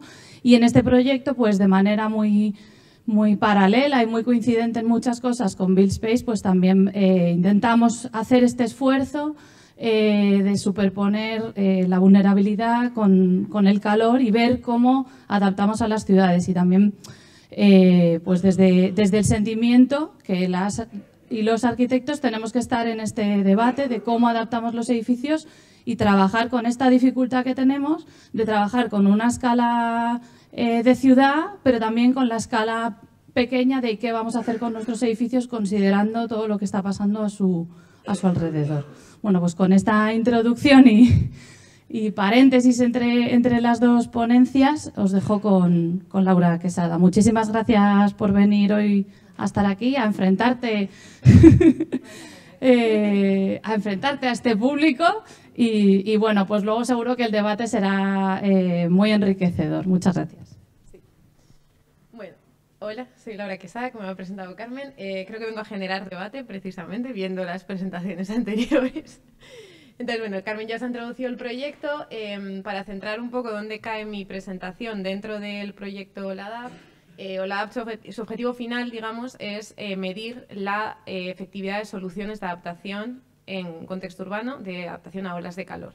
Em, entonces, este proyecto acaba de empezar, llevamos muy poquito, pero la primera fase es seleccionar dónde, vamos a, dónde son necesarias esas soluciones de adaptación. ¿no? Entonces, para eso, el primer paso es medir la vulnerabilidad y el riesgo eh, frente a olas de calor dentro de las ciudades para identificar dónde necesitamos actuar, ¿no? dónde necesitamos luego eh, aplicar estas soluciones. Por lo tanto, yo vengo em, con un poco un mix de cosas que estamos desarrollando para OLADAPT y por otro lado eh, cosas salidas de mi tesis porque más o menos estamos siguiendo la misma, la misma línea y os vengo a presentar un método multicriterio em, que se llama MIBES eh, entonces, bueno, creo eso, creo que va a ser interesante el debate después porque vengo a, presentar algo que contradice un poco cosas que, habéis dicho antes, pero bueno, a ver qué, opináis. vale. Bueno, entonces, eh, ¿qué es MIBES? MIBES es una metodología multicriterio, ¿vale? Eh, os voy a explicar un poquito cómo funciona, cuál es la base de cálculo de, de MIBES. no, me voy a, no voy a profundizar mucho en las matemáticas, luego si hay alguna duda, que me imagino que va a haber, pues las comentamos. Em, y principalmente os voy a explicar cómo se aplica, cómo lo hemos aplicado en diferentes casos, cómo lo estamos planteando dentro del proyecto LADAP y cómo, bueno, y luego eh, algunos resultados de otras aplicaciones anteriores que hemos hecho, eh, la mayoría están salidas de, mi tesis. Entonces, eh, bueno, veréis un poquito los resultados y esa visualización de resultados que podemos obtener em, a través de esto.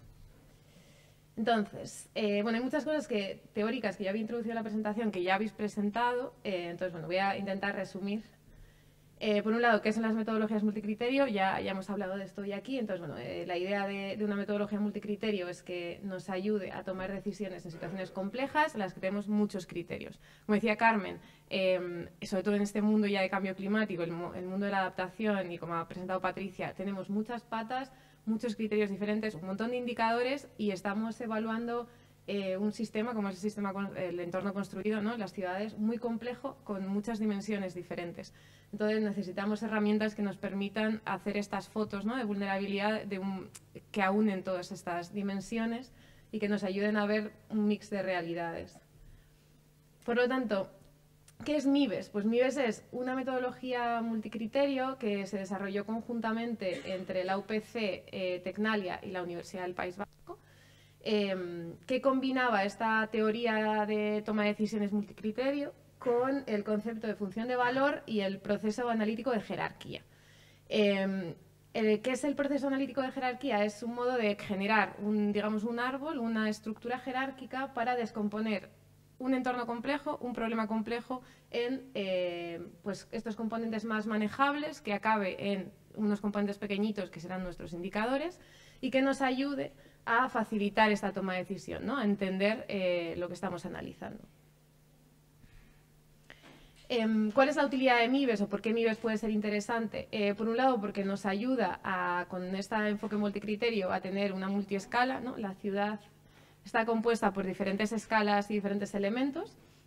Y dentro de esto vamos a tener un montón de datos, como hablaba Patricia cuando nos ha presentado los indicadores, eh, habréis pensado, y como hemos habéis hablado muy bien antes en las presentaciones anteriores, que vamos a tener indicadores cuantitativos, cualitativos, vamos a mezclar un montón de tipos de unidades, indicadores que son sí, no binarios, indicadores que no lo son. Por lo tanto, necesitamos un modo de compatibilizar todos estos indicadores para sacar una conclusión.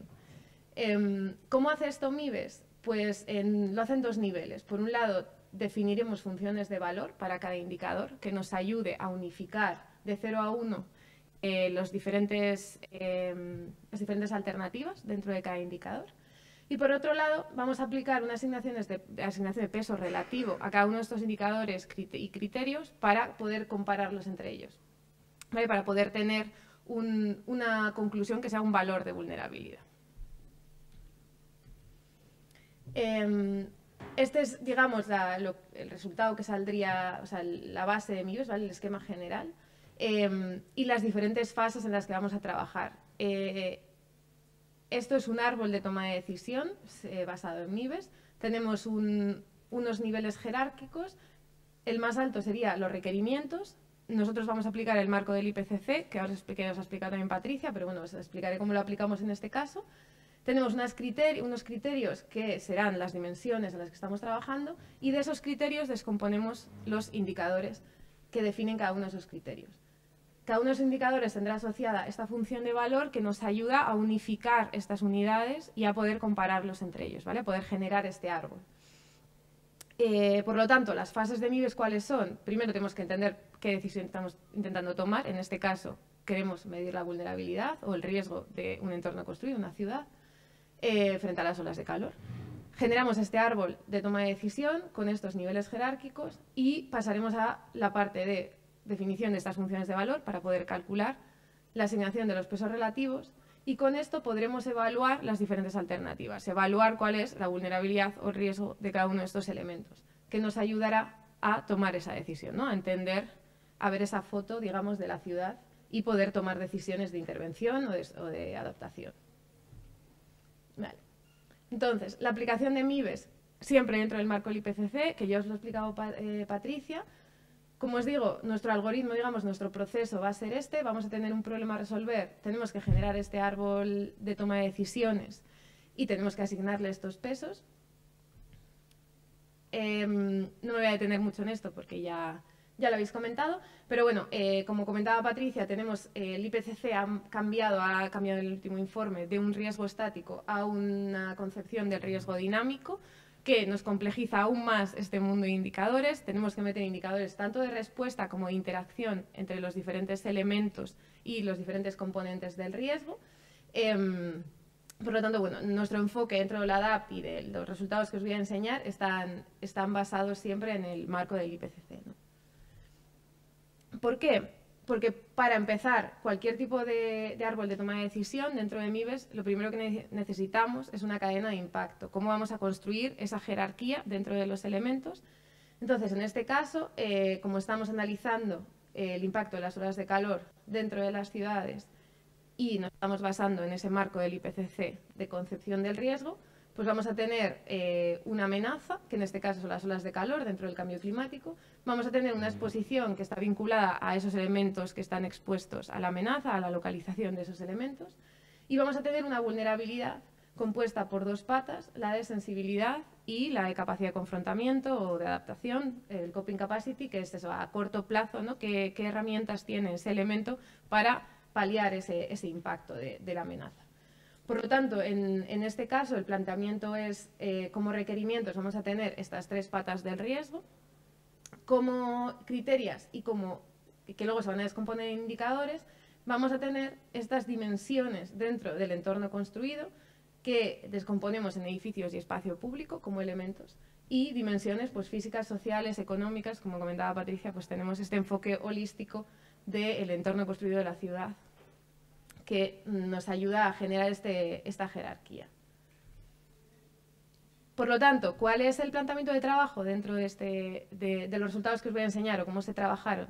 Eh, tenemos una caracterización de la amenaza y de esos impactos. Los indicadores que ha enseñado Patricia son muchos de los que hemos usado aquí, eh, o sea, son muy parecidos, están basados en la literatura también. Y por un lado, queremos entender cómo impactan las olas de calor en los edificios, qué los hace sensibles, qué características intrínsecas de estos elementos los hace más sensibles al impacto de las olas de calor. Eh, y de los espacios urbanos, de todas las dimensiones que hemos hablado, sociales, económicas, ambientales, etcétera. Con esto definiremos estos indicadores que alimentarán esta metodología análisis de riesgo eh, que está basada, pues como os decía, en el IPC y en IPCC perdón, y en MIBES. Eh, una vez asignados estos valores y estos pesos, eh, construimos un modelo de datos en GIS, como hacemos todos, eh, y, de ahí sacamos estos resultados de vulnerabilidad y riesgo.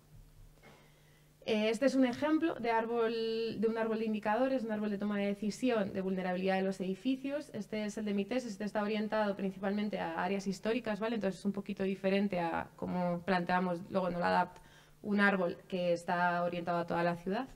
Entonces, como veis, este es de vulnerabilidad. Tenemos los dos requerimientos que son definidos por el IPCC, vulnerabilidad y capacidad de confrontamiento.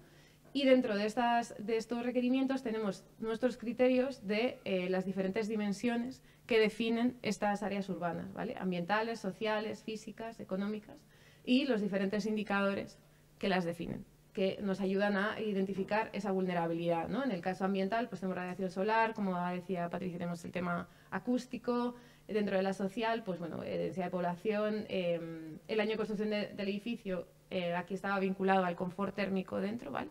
y por lo tanto, a la, pues eso, como hacía más vulnerable a los habitantes de ese edificio al calor, bueno, porcentaje de población vulnerable, que está basado pues, en renta, edad, etc. Vale, entonces, todo este tipo de indicadores nos definen la sensibilidad de esos edificios.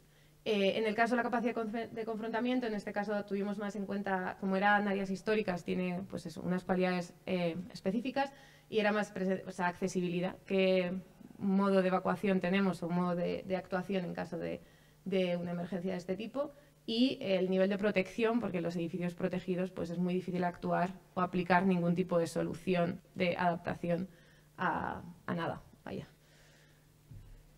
Y en caso del espacio público, pues partimos un poco de la misma, la misma idea, es la misma jerarquía, como requerimientos tenemos los mismos y los criterios pues también de los que nos definen el espacio público, ¿no? eh, físicos, ambientales, culturales ¿vale? y de accesibilidad. Como os digo, esto es para áreas históricas, es un poco más reducido.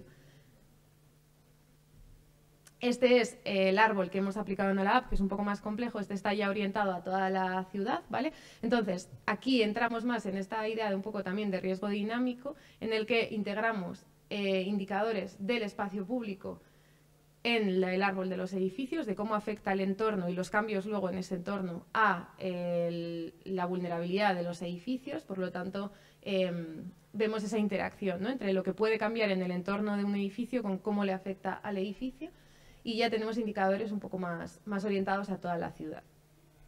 En el caso del espacio público, lo mismo. Tenemos un, eh, un indicador de perfil socioeconómico ¿vale? de los habitantes de estos edificios unidos a estos indicadores de sensibilidad del propio espacio público, ¿no? de, unos indicadores más ambientales, más físicos, eh, que nos definen este espacio público. Entonces, una vez tenemos definido este árbol de indicadores, ¿cómo aplicamos MIBES? ¿Cuál sería el proceso? Pues tenemos una función de valor, ¿vale? Estos valores que, que nos van a ayudar a, a pasar eh, las diferentes alternativas de cada indicador o los diferentes valores de cada indicador a unos valores comparables entre ellos, se basan en un cuestionario a expertos. Em, se, en este caso se eligió un panel de 20 expertos del mundo de la construcción, del patrimonio, de, del cambio climático y, se, y con una medida de sus respuestas se define esta función de valor que eh, ayuda a unificar ¿vale? los valores de, de cada una de estas alternativas. De esta manera, tenemos ya todos los indicadores con unos valores asociados que son comparables entre ellos, ¿vale? De 0 a 1. En el caso de indicadores binarios, ¿vale? Que solo tenemos sí o no, pues tendríamos solo 0 y 1. Em, el siguiente paso sería este peso relativo de los diferentes indicadores y criterios que hacemos con una matriz de par a par, ¿vale? Eh, usando el mismo proceso, es el mismo un cuestionario a expertos y haciendo una media de sus, em, de sus votos, ¿vale? Digamos. Eh, de esta manera conseguimos unos pesos relativos y tenemos ese reparto, digamos, de importancia entre cada uno de los indicadores dentro de cada uno de los criterios. Y hacemos lo mismo con los criterios dentro. Sí. El peso es una matriz de comparación, pues es eh, importancia relativa entre ellos. Tenemos Sí, eso es. Todo está basado siempre en un cuestionario de expertos, ¿vale? O sea, es imposible tener un, digamos, algo totalmente objetivo en un mundo complejo como este. Entonces, eh, lo que, cómo funciona MIBES es haciendo un cuestionario al máximo número de expertos posible siempre dentro de, los áreas que estamos evaluando y eh, hacer una media de esas opiniones, quitando las desviaciones eh, que se salen ¿no? de entonces, en el tema, en los criterios tendríamos el mismo proceso, ¿vale? Una matriz de comparación a pares y sacaríamos estos pesos relativos, digamos que repartimos un punto entre todos los, todos los criterios. De esta manera ya nos queda un árbol en el que podemos em, sacar conclusiones, tenemos el peso relativo de cada uno de los indicadores, de los criterios y de los requerimientos y lo mismo con eh, los pesos de los indicadores. Ya tenemos la función de valor de cada indicador. Entonces, una vez tenemos esto, construimos un modelo de datos. En este modelo de datos, es un modelo de GIS, podemos cargar toda la información relativa a cada indicador para cada uno de los elementos, edificios y espacio público. En el caso de los edificios, la información geométrica es muy directa porque ya existe, la tenemos. En el caso del espacio público es un poco más compleja, entonces eh, os voy a enseñar como dos modos en los que lo hemos trabajado. Y, eh, por ejemplo, esto es la aplicación en el caso de estudio del casco viejo de Bilbao, esto es de mi tesis. Em, entonces aquí sí que teníamos la base geométrica, digamos, del espacio público, teníamos elementos, entonces era más fácil discriminar em, y, bueno, sacar un índice de, riesgo, digamos, o de, bueno, esto es de riesgo o de vulnerabilidad de cada uno de los elementos. Este es el casco viejo, bueno, la área, la área más antigua de Nápoles. Em, y en este caso, por ejemplo, el espacio público no está discriminado y está estudiado en base a imágenes raster, ¿vale? A valores de píxel. Tenemos un valor de píxel eh, que nos determina el riesgo para este espacio público. Entonces hay diferentes modos luego de trabajarlo dependiendo de los datos. El mundo de los datos también es un mundo muy complejo. Entonces, dependiendo de esas limitaciones, ¿no? Como decía Patricia, que nos enfrentamos muchas veces a, limitaciones en cuanto a la calidad de los datos, a la escala, cada, la replicabilidad es siempre ese desafío. Entonces, bueno, pues en casos diferentes pues hay que trabajar de modos diferentes. Por lo tanto, conclusiones un poco, luego debatiremos, me imagino, pero conclusiones sobre MIBES o lo que nos ofrece MIBES eh, con el trabajo que hemos hecho sobre utilizando esta metodología es que nos ayuda a evaluar la vulnerabilidad del riesgo de un elemento muy complejo como es la ciudad, ¿vale? Con este enfoque encima holístico que tenemos muchas dimensiones, muchos tipos datos muy diferentes, cuantitativos, cualitativos. Em, nos permite compararlos de un modo, obviamente siempre, nunca va a ser 100% objetivo, es imposible, pero eh, del modo más objetivo posible. Eh, nos da herramientas de información pues, para entender también la vulnerabilidad de cada elemento ¿vale?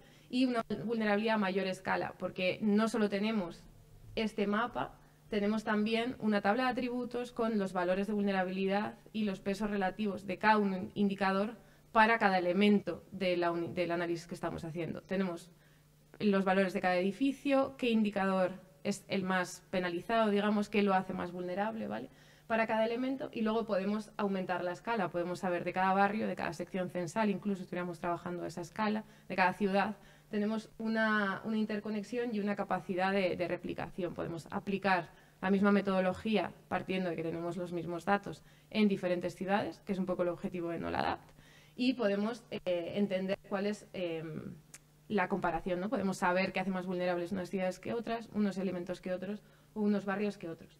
Entonces, en el caso, por ejemplo, de la DAP, la idea es usar el árbol de indicadores y esta, y metodología para identificar las áreas más vulnerables de tres ciudades diferentes, que son Bilbao, Madrid y, Cáceres, que son muy diferentes encima, y identificar esas áreas más vulnerables y cuáles son las eh, estrategias de adaptación, las soluciones que podemos aplicar y cómo las vamos a evaluar. Y cómo vamos a evaluar también esa mejora o incluso problemas derivados que pueda salir de esa adaptación para tener esa idea de riesgo dinámico, ¿no? esa interacción entre los elementos del riesgo y las, actuaciones que luego intentemos hacer para adaptarnos a, estos, a estas amenazas y a este cambio climático.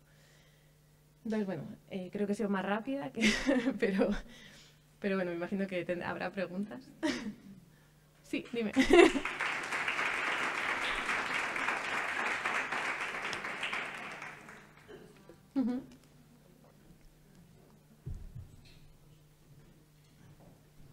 Eh, bueno, pues muchas gracias, Laura. Eh, no, sé si como antes todo el mundo vuelve a su sitio y nos hablamos ya aquí dentro de la sala. Por si queréis que enseñe algo, ya que veo que ha generado preguntas. Yo voy a dejar las matemáticas para Mariano. Eh, no he entendido los planos de Bilbao. ¿Nos, los puedes interpretar tú qué significan? Eh, sí, bueno, a ver, esto es una, es digamos la conclusión como más eh, final, ¿no? De un proceso como este, pero tenemos todos los edificios a la izquierda y las secciones de espacio público, digamos, a la derecha, calles, plazas, etcétera, y es un, eso es una aplicación ya de un índice de, riesgo derivado de, las, de los resultados ¿no? que nos dio MIBES. Entonces, tenemos un resultado final que es un valor del riesgo del 0 al 1 para cada edificio y un valor del 0 al 1 de riesgo también para cada elemento del espacio público. Entonces, esto simplemente es la visión ya final, digamos, de pues si aunamos todos estos criterios, todos estos indicadores. ¿Cómo interpretas tú? Porque yo estoy, conozco Bilbao y, no acabo de entender el plano de espacio público. O sea, no entiendo por qué es más vulnerable la parte que está al río que las calles esas interiores. O sea, no acabo de, o sea, ¿cuál es tu explicación de este plano? Eh, aquí principalmente... entiendo que la Plaza Mayor, pues puede ser, porque como es de piedra y tal, os parecerá mm. que funciona peor, pero ah, no entiendo mm. lo de Bilbao la Vieja, o sea, no entiendo la parte esta... Porque pues hay color O sea, ¿cómo lo interpretas?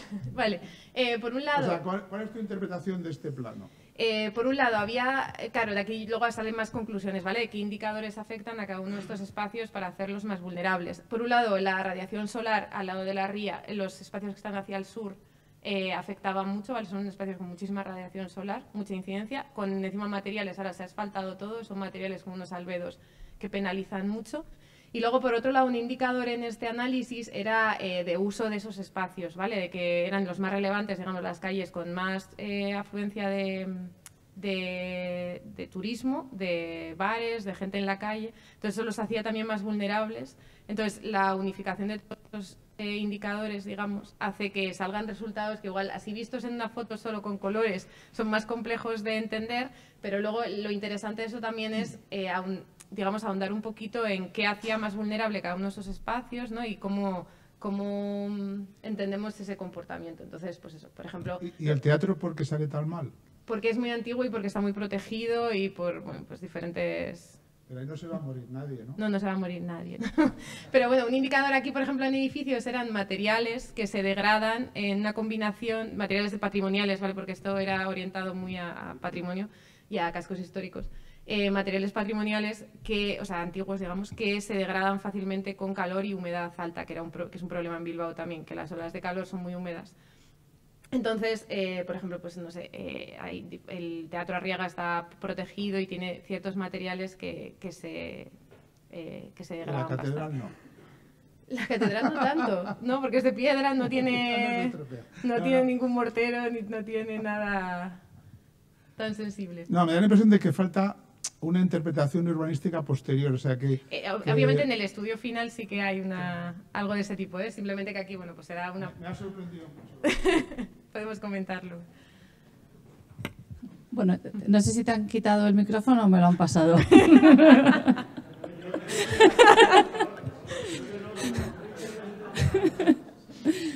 Eh, Sí, pero eh, entiendo que esto es, o sea, esto es, una, es los resultados de la tesis doctoral. Aquí había muchísimo más, que hay mucho más que ahondar, mucho más material, ¿vale? Solo quería presentaros un poquito MIBES y mi objetivo era principalmente explicar esta parte, ¿no? Que entiendo que va a generar también debate por otros lados. Bueno, lo- el objetivo era un poco pues enfrentar estas, esta- estos dos métodos. Yo la duda que tengo eh, sobre MIBES es no sé si luego tenemos un, un mapa para saber, eh, para conectar fácilmente esos indicadores con esos resultados. Es decir, este ejercicio de calibración que tenemos que hacer siempre todos, ¿no? Decía antes Iván, bueno, lo hemos mapeado y parece, Sí. nos parece razonable, ¿no? Ese punto de nos parece razonable y, y luego vuel- vuel- uy, ha salido, uy, sale el retiro la parte más caliente de la ciudad. Voy a ir para atrás Sí. a ver dónde, Sí, sí, qué pasó aquí. Eh, ¿Es fácil esa trazabilidad? ¿Conseguimos tener como un mapa de esos pesos, por así decirlo? sí, sí, y ese claro. resultado y poder decir, vale, mm, nos Sí. hemos pasado, ¿no? Con... O sea, al final, esto ya os digo que esta es la visualización de GIS ya de los colores, digamos, pero tenemos una tabla de atributos detrás, tenemos el peso relativo de cada indicador, o sea, se puede visualizar y sacar visualizaciones, obviamente, de todo. O sea, todo el proceso es... O sea, al final, digamos que la aplicación de MIBES es un Excel eh, del que salen unas fórmulas que luego aplicamos en GIS a cada uno de estos indicadores, ¿no? Hace- Y van saliendo esos, esos valores. Entonces, siempre puedes trazar cada, cada dato, claro. Y una pregunta, en ese proceso de preguntar a expertos, ¿no? que son quienes eh, aportan pues esas consideraciones Sí. de calibración, hubo un momento que, claro, tú ya lo has pasado porque has pasado, ahora en Oladap todavía no hemos, No hemos llegado pasado todavía. por ello. Eh, hubo un momento en ese, de- eh, a la hora de, de hacer estos mapeos, de decir, uy, aquí tengo que volver para atrás a ver qué me han contestado porque no me está cuadrando. Eh, Sí, o sea, hubo alguna respuesta que se salía muchísimo de la media, ¿no? Entonces al final pues siempre hay que hacer, o sea, tenemos los extremos que, que obviamente esas respuestas pues las tuvimos que eliminar, ¿no? Porque igual se salían, o sea, destruían un poco esa, estadísticamente, digamos, la, eh, la media, pero en general la verdad es que fueron todas las respuestas muy coherentes. Eh, sí que es cierto que eh, para hacer el cuestionario eh, hicimos unas jornadas online, digamos, unas, unas llamadas de Teams, en el que todo el mundo se podía unir, todos los, eh, eh, para que les explicáramos cada pregunta, cada indicador, entonces tuvieran, porque entiendo que hay muchos indicadores que igual si no los has trabajado, pues cuesta un poco entender cuál es su, su importancia o por qué. Entonces sí que hicimos eso y yo creo que ayudó mucho a, a unificar respuestas, intentando ser lo más objetivos posible y sin dar nuestra opinión, ¿no? Siempre solo explicando la parte técnica de, de cada uno de esos indicadores. Pero en general salieron respuestas bastante coherentes, hemos tenido pocas desviaciones, digamos. Eh, veremos en OLADAP que se complejiza un poco más, pero, pero sí.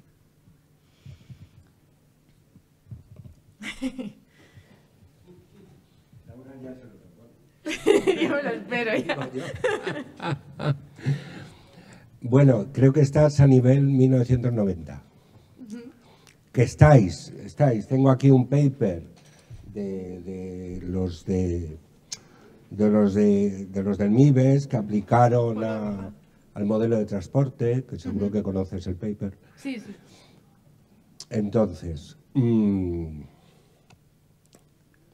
¿por qué no pasáis, por qué no avanzáis una década y os vais a dos décadas, a 2010? Y usáis medias geométricas. Eh, cuando antes hablaba de media simple, esto es una media ponderada, ¿no? donde unos expertos decían unos pesos. La media al menos es como más neutra, porque los pesos son uno para todos los criterios, que es lo que hacía el IDH de 1990. Entonces, eh, sería una prueba interesante incluso para un paper, que es una cosa que yo hice, no exactamente la misma, pero te coges todos los datos, te olvidas de los pesos y en tu árbol de jerarquías vas haciendo la, la media Media geométrica ¿eh? de, de los, ¿cómo lo llamáis? De los indicadores para calcular el, La función de base. El criterio Y luego de los criterios para calcular los requerimientos que llamabais. Y luego, si hace falta, pues otra medida geométrica para el riesgo, ¿no? Claro, pero ahí estaríamos dependiendo mucho del caso en el que estemos aplicando. No, no dependes de nada. Dependes de que tienes unos indicadores que si están bien medidos son objetivos, ¿eh? y luego tienes una medida geométrica que es falaz, pero que es menos falaz que la media ponderada. Porque la media ponderada, pues, lo entregas a unos expertos confiando en que los expertos van a ser más expertos que el tipo que toma el sol en la Plaza Mayor de Bilbao. ¿Sabes? Cosa bastante dudosa, porque como bien eh, pone siempre de ejemplo Ignacio Paricio, que no sé si ha muerto o no ha muerto, catedrático de, de construcción de Barcelona, pues las, las, las, que saben dónde hay que ponerse en, pueblo, en, el pueblo en invierno son las viejecitas del pueblo, no un experto, ¿sabes? Entonces te quitas a los expertos de en medio, para empezar. Uh -huh. Y luego, otra cosa que deberías superar es tu superstición de que como has normalizado entre 0 y 1 y has adimensionalizado, ¿eh? uh -huh. las cosas son comparables. Las cosas, Laura, siguen siendo incomparables. ¿Por qué? Lo explica Georges Kurregen en su libro, el carácter cualitativo de las magnitudes debe prevalecer. Yo puedo hacer todas las operaciones matemáticas que quieras, ¿no? Pero si la radiación solar es la radiación solar, por mucho que con el sismoide ese que os inventáis de función de valor eh, la reduzcas a 0 y 1, sigue siendo radiación solar. Y la radiación solar no la puedes sumar con el año de construcción de, de, del edificio. Ya está. Y son unas mejoras, yo creo, sencillas.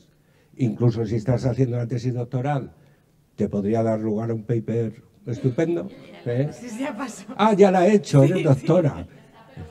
Estimada Bueno, pero- colega y sin embargo amiga. Pero me parece interesante. eh, Bueno, para pero como estás predoctoral y querrás seguir tu carrera académica, da igual, puedes hacer un paper.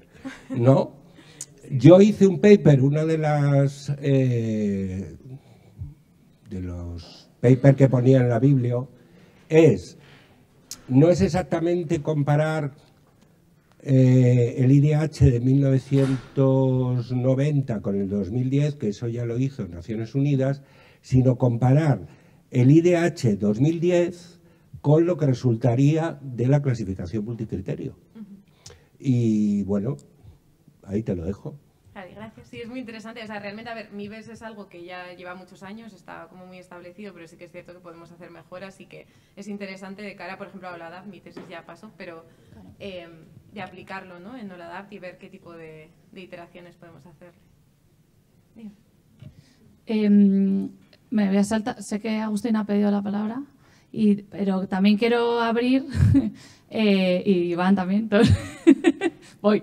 Eh, también tenemos aquí a Alfonso Sanz, que en el último momento eh, se nos ha rajado, pero también está trabajando con una metodología eh, con la Universidad de Sevilla en materia de, de adaptación, si no me equivoco, ¿no? O por lo menos de evaluación de vulnerabilidad frente al calor.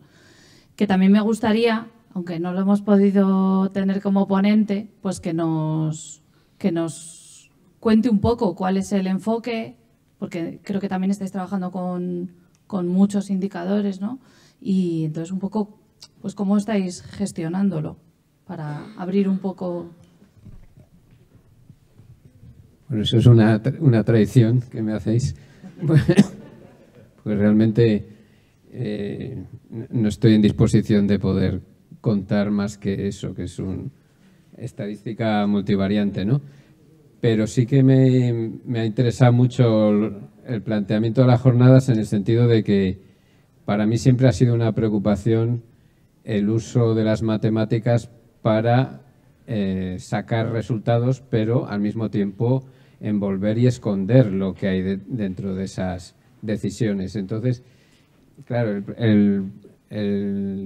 la técnica STAMIBES me parece que es una herramienta potente por, precisamente por lo que invisibiliza, que son las decisiones de los expertos. Y, eso me, preocupa social y políticamente. ¿Cómo se traduce todo esto a decisiones luego pues de eso pues este barrio es vulnerable es vulnerable ¿por qué? entonces haces toda la cadena de procesos que llevan a, decidir que ese es barrio vulnerable o ese edificio y te das cuenta de que hay tanto lío de información allí, tanta borrosidad de la, de la toma de decisiones y de cómo eh, los conceptos que aplicamos mm, los expertos o no expertos, que, que sinceramente esa es la, mi, mi mayor preocupación es esa. ¿no? ¿Y un avance sobre lo que estáis haciendo? No.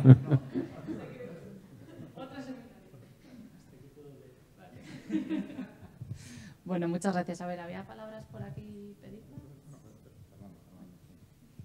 Bueno, enhorabuena por el inicio de intentar valorar todo esto y tal, ¿no? Había algunos temas que me han llamado la atención en indicadores, por ejemplo, no habéis metido el N2O, ¿no? O sea, el NO2, vamos, Eh, sí, por sí, el, el ozono, tráfico y tal, sí. ¿no? No, Eh, el ozono. ah, O sea, el sí, ozono sí, no, el- el NO2. El N2 no lo hemos metido. ¿no? Por eso. En Y- esta, bueno, en esta... Vale, Es que si no, sí. que no se Ah, vale, sí. Que, eh, bueno, en este caso, claro, aquí había un mix, porque ten- em, os he enseñado indicadores que estamos ahora planteando por el ADAPT y luego los de mi tesis, entonces, pues bueno, eh, son planteamientos diferentes. En el caso de mi tesis, yo cogí el ozono porque, uno, en la zona, las zonas que estaba estudiando era un, un contaminante bastante presente y luego, por otro lado, porque el ozono eh, se produce una reacción química cuando hay bastante calor y bastante humedad en caso de olas de calor que lo multiplica. Entonces, eh, es como indicador de contaminación del aire muy ligado a el impacto de olas de calor. Entonces, en este caso era uno que nos interesaba mucho. Sí, pero sabes que si hay mucho tráfico, hay mucho N2 y Sí, no hay sí, ozono. sí, pero bueno, los cascos viejos, Entonces- el NO2, por ejemplo, o sea, el casco viejo de Bilbao, por ejemplo, es totalmente peatonal. Eh, entonces, no era. Por eso digo que, por ejemplo, en el caso de la app sí que es un indicador que sí que nos interesa el NO2, porque estamos estudiando toda la ciudad. Vale, supongo que en otros sitios sí que metéis el... Claro. ¿sabes? Y el tema del transporte y tal, que tampoco está muy... ¿Sabes? O sea, que en otras ciudades sí que el tema del transporte sí que aumenta el calor en la ciudad, etcétera y tal. ¿no? En el caso de una isla de calor, por ejemplo, sí, de entender el efecto de la isla de calor es interesante. En este caso, está, claro, también luego está el tema de los datos, ¿no? ¿Qué datos tenemos disponibles y replicables para cada ciudad para poder medir estas cosas a esta escala?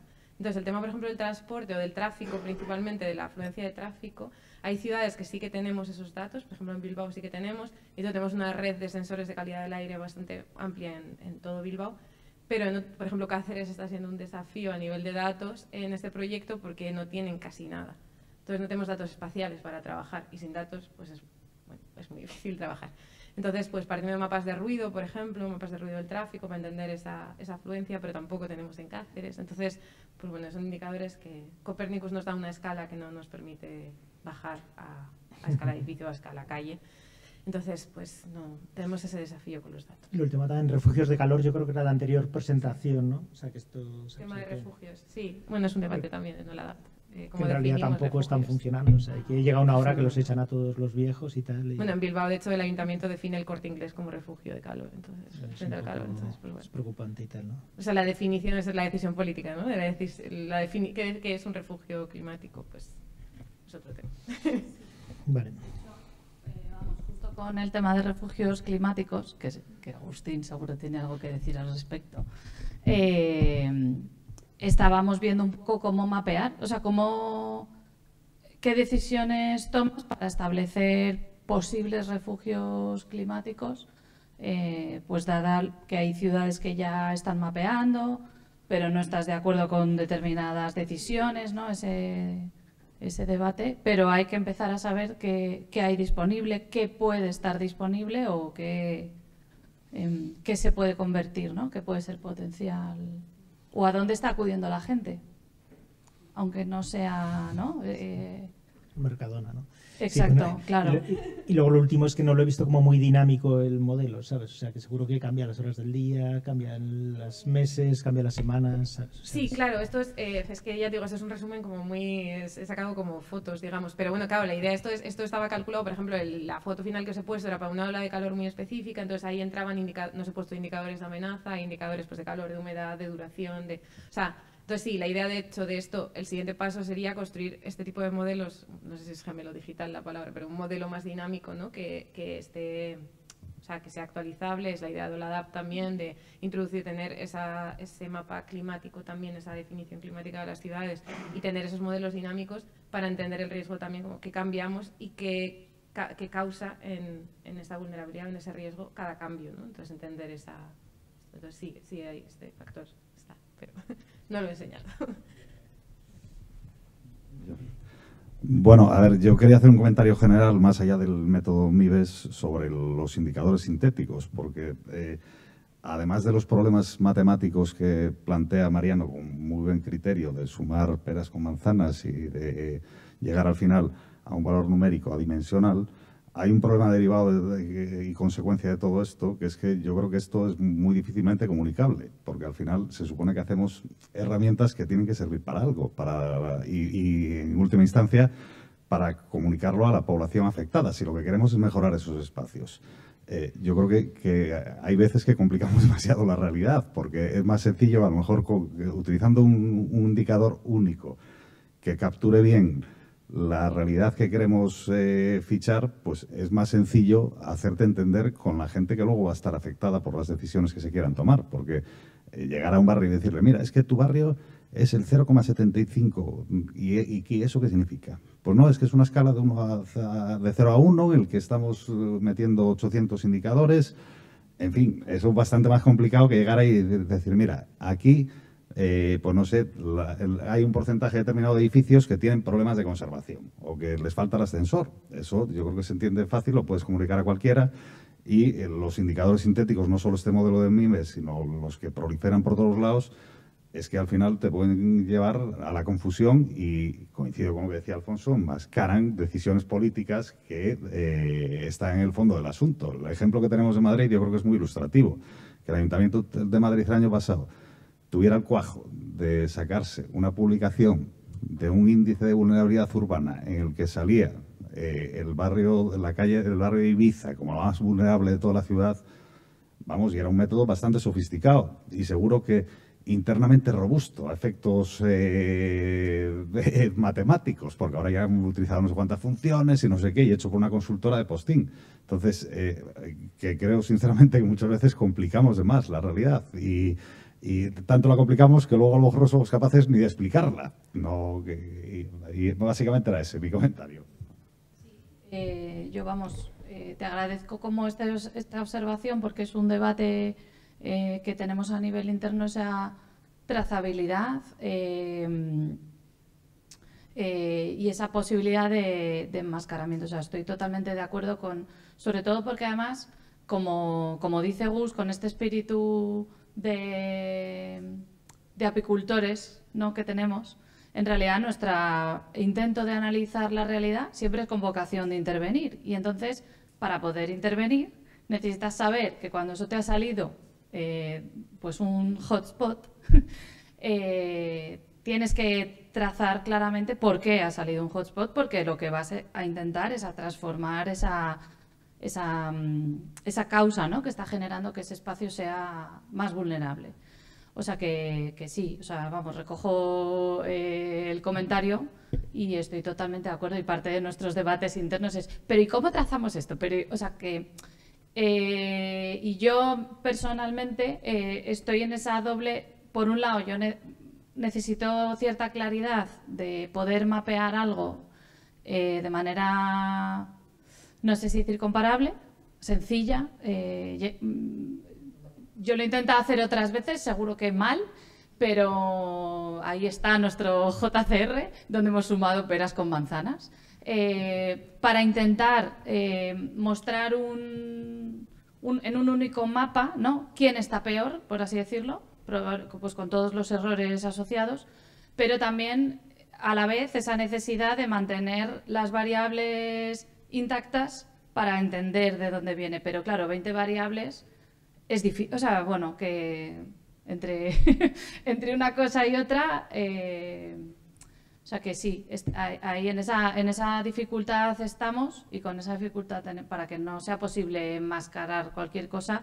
Y es verdad que somos, em, que aquí en Madrid eh, somos herederos de este, de este mapa donde pues uno de los barrios con más renta, pues sale más vulnerable. Entonces, ese creo que, ¿no? También por eso este, esta reivindicación de no perder eh, los, no sé si decir los datos originales, ¿no?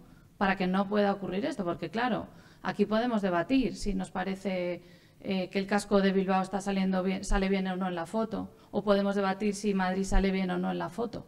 Pero la población, que es a quien queremos comunicar, eh, no va a decir, ah, pero entonces este dato lo han multiplicado. No, van a decir, ostras, Ibiza, el peor barrio de, la ciudad. Bueno, eh, vamos a ver, yo en este método de repente estoy intentando entenderlo. Eh, y hay alguna cosa, yo creo que es que se están poniendo muchas cosas encima que debían de ser separadas. O sea, por ejemplo, mm, me dices que el, teatro es que no sé qué, pero desde un punto de vista de análisis de la vulnerabilidad de la población, el teatro no, no, perdona, que de, acabo un par de cosas. Entonces yo creo que le falta una dimensión más urbanística. O sea, porque al meter tantas cosas juntas, yo creo que si hicieses un esfuerzo de sacarlas. Luego, eh, también hay cosas que yo creo que deberíais de aplicar un análisis, entre comillas, de conocimiento del espacio. Campo de Volantín me sale más vulnerable que la zona asfaltada que hay al lado ahí cuando entras al casco viejo, que es una especie de mancha. Ahí hay algo raro. O sea, hay algo raro que debería decirnos que el indicador debe ser modificado.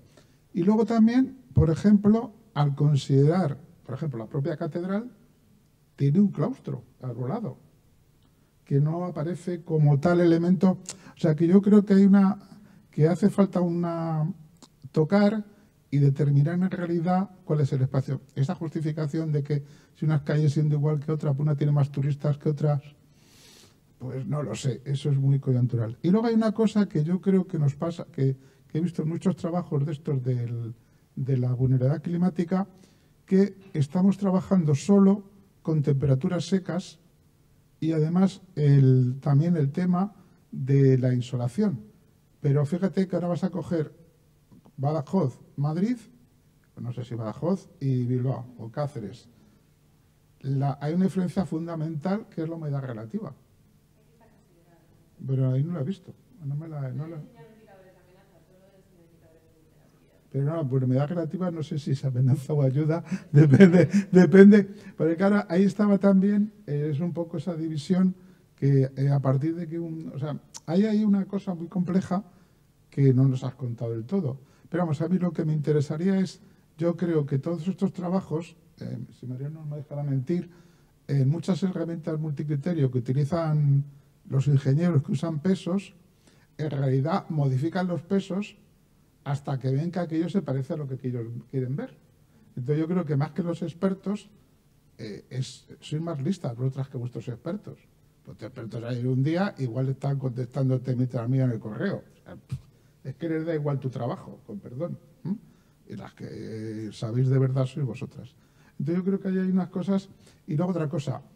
eh, yo lo he aprendido de, de nuestro amigo Clemente, ¿no? Que dice que no lo llamemos refugios climáticos, que llamemos oasis. Que es que es que una cosa que me ha dado mucha tristeza es que todos los indicadores de Patricia eran de muerte. eh, la única manera de refugiarse, por favor. O sea, hay una cosa importante, salgamos de la estrategia de la muerte, ¿no? De, no sé, pongamos otros indicadores también que, que dirigen a la población. Dice, no, es que te vas a morir un mes más tarde de cáncer. Y pues mira, es que me da igual, o sea, no sé, salgamos de la estrategia de la muerte y, por ejemplo, yo creo que si dominamos oasis a vez de refugios, ganamos mucho de ello. Pero nada, no, yo creo que ahí falta eh, tunear un poco el- el- lo que habéis hecho para que estéis satisfechas con lo que veáis. Nada más. Solo un segundito. Que...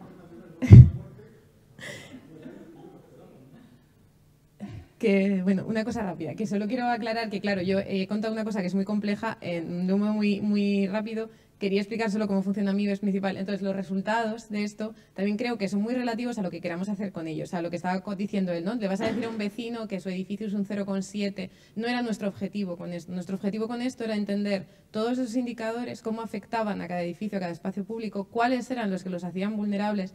Entonces, era, o sea, el objetivo de era tener una respuesta más compleja, igual de compleja que los indicadores que tenemos, y no solo ese índice de 0,7 o una mancha roja o una mancha verde. Eso no era el objetivo. Entonces, claro, creo que eso es un factor muy importante. Estamos mezclando muchos indicadores muy diferentes, peras con, manzanas, ¿no?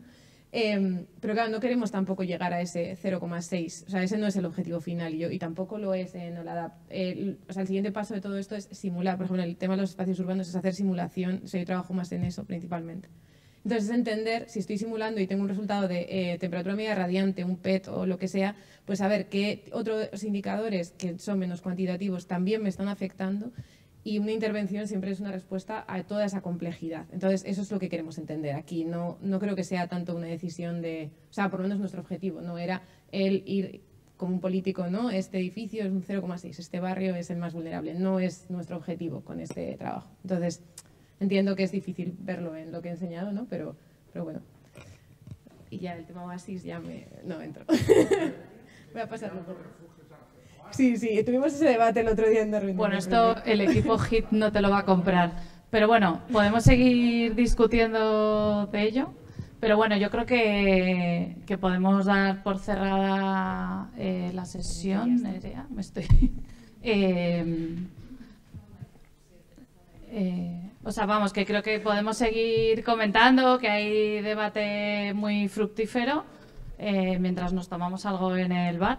Pero bueno, eh, cerramos el, seminario y la clase. Muchas gracias por vuestra asistencia y por vuestras aportaciones. Hay mucho, mucho que discutir. Eh, así que nada, pues muchas gracias. No sé si los responsables de la asignatura quieren decir algo. Ya no tenemos alumnos aquí, así nos da lo mismo. No, bueno, gracias, gracias por venir y por estar y porque al final nos hemos juntado como dos grupos de investigación, dos visiones, dos áreas de... ¿Cómo se van a juntar si no paras de reñirles? Pues eso, que está que, bien, yo creo que es como que los seminarios al final se trata de debatir, de contrastar y de ver unas visiones y otras. Y bueno, me emociono, no puedo ser. Venga, ya, apaguemos.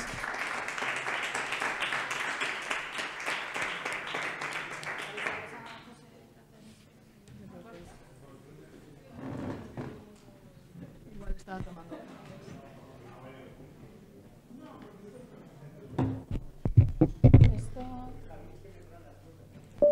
Eh, borramos esto.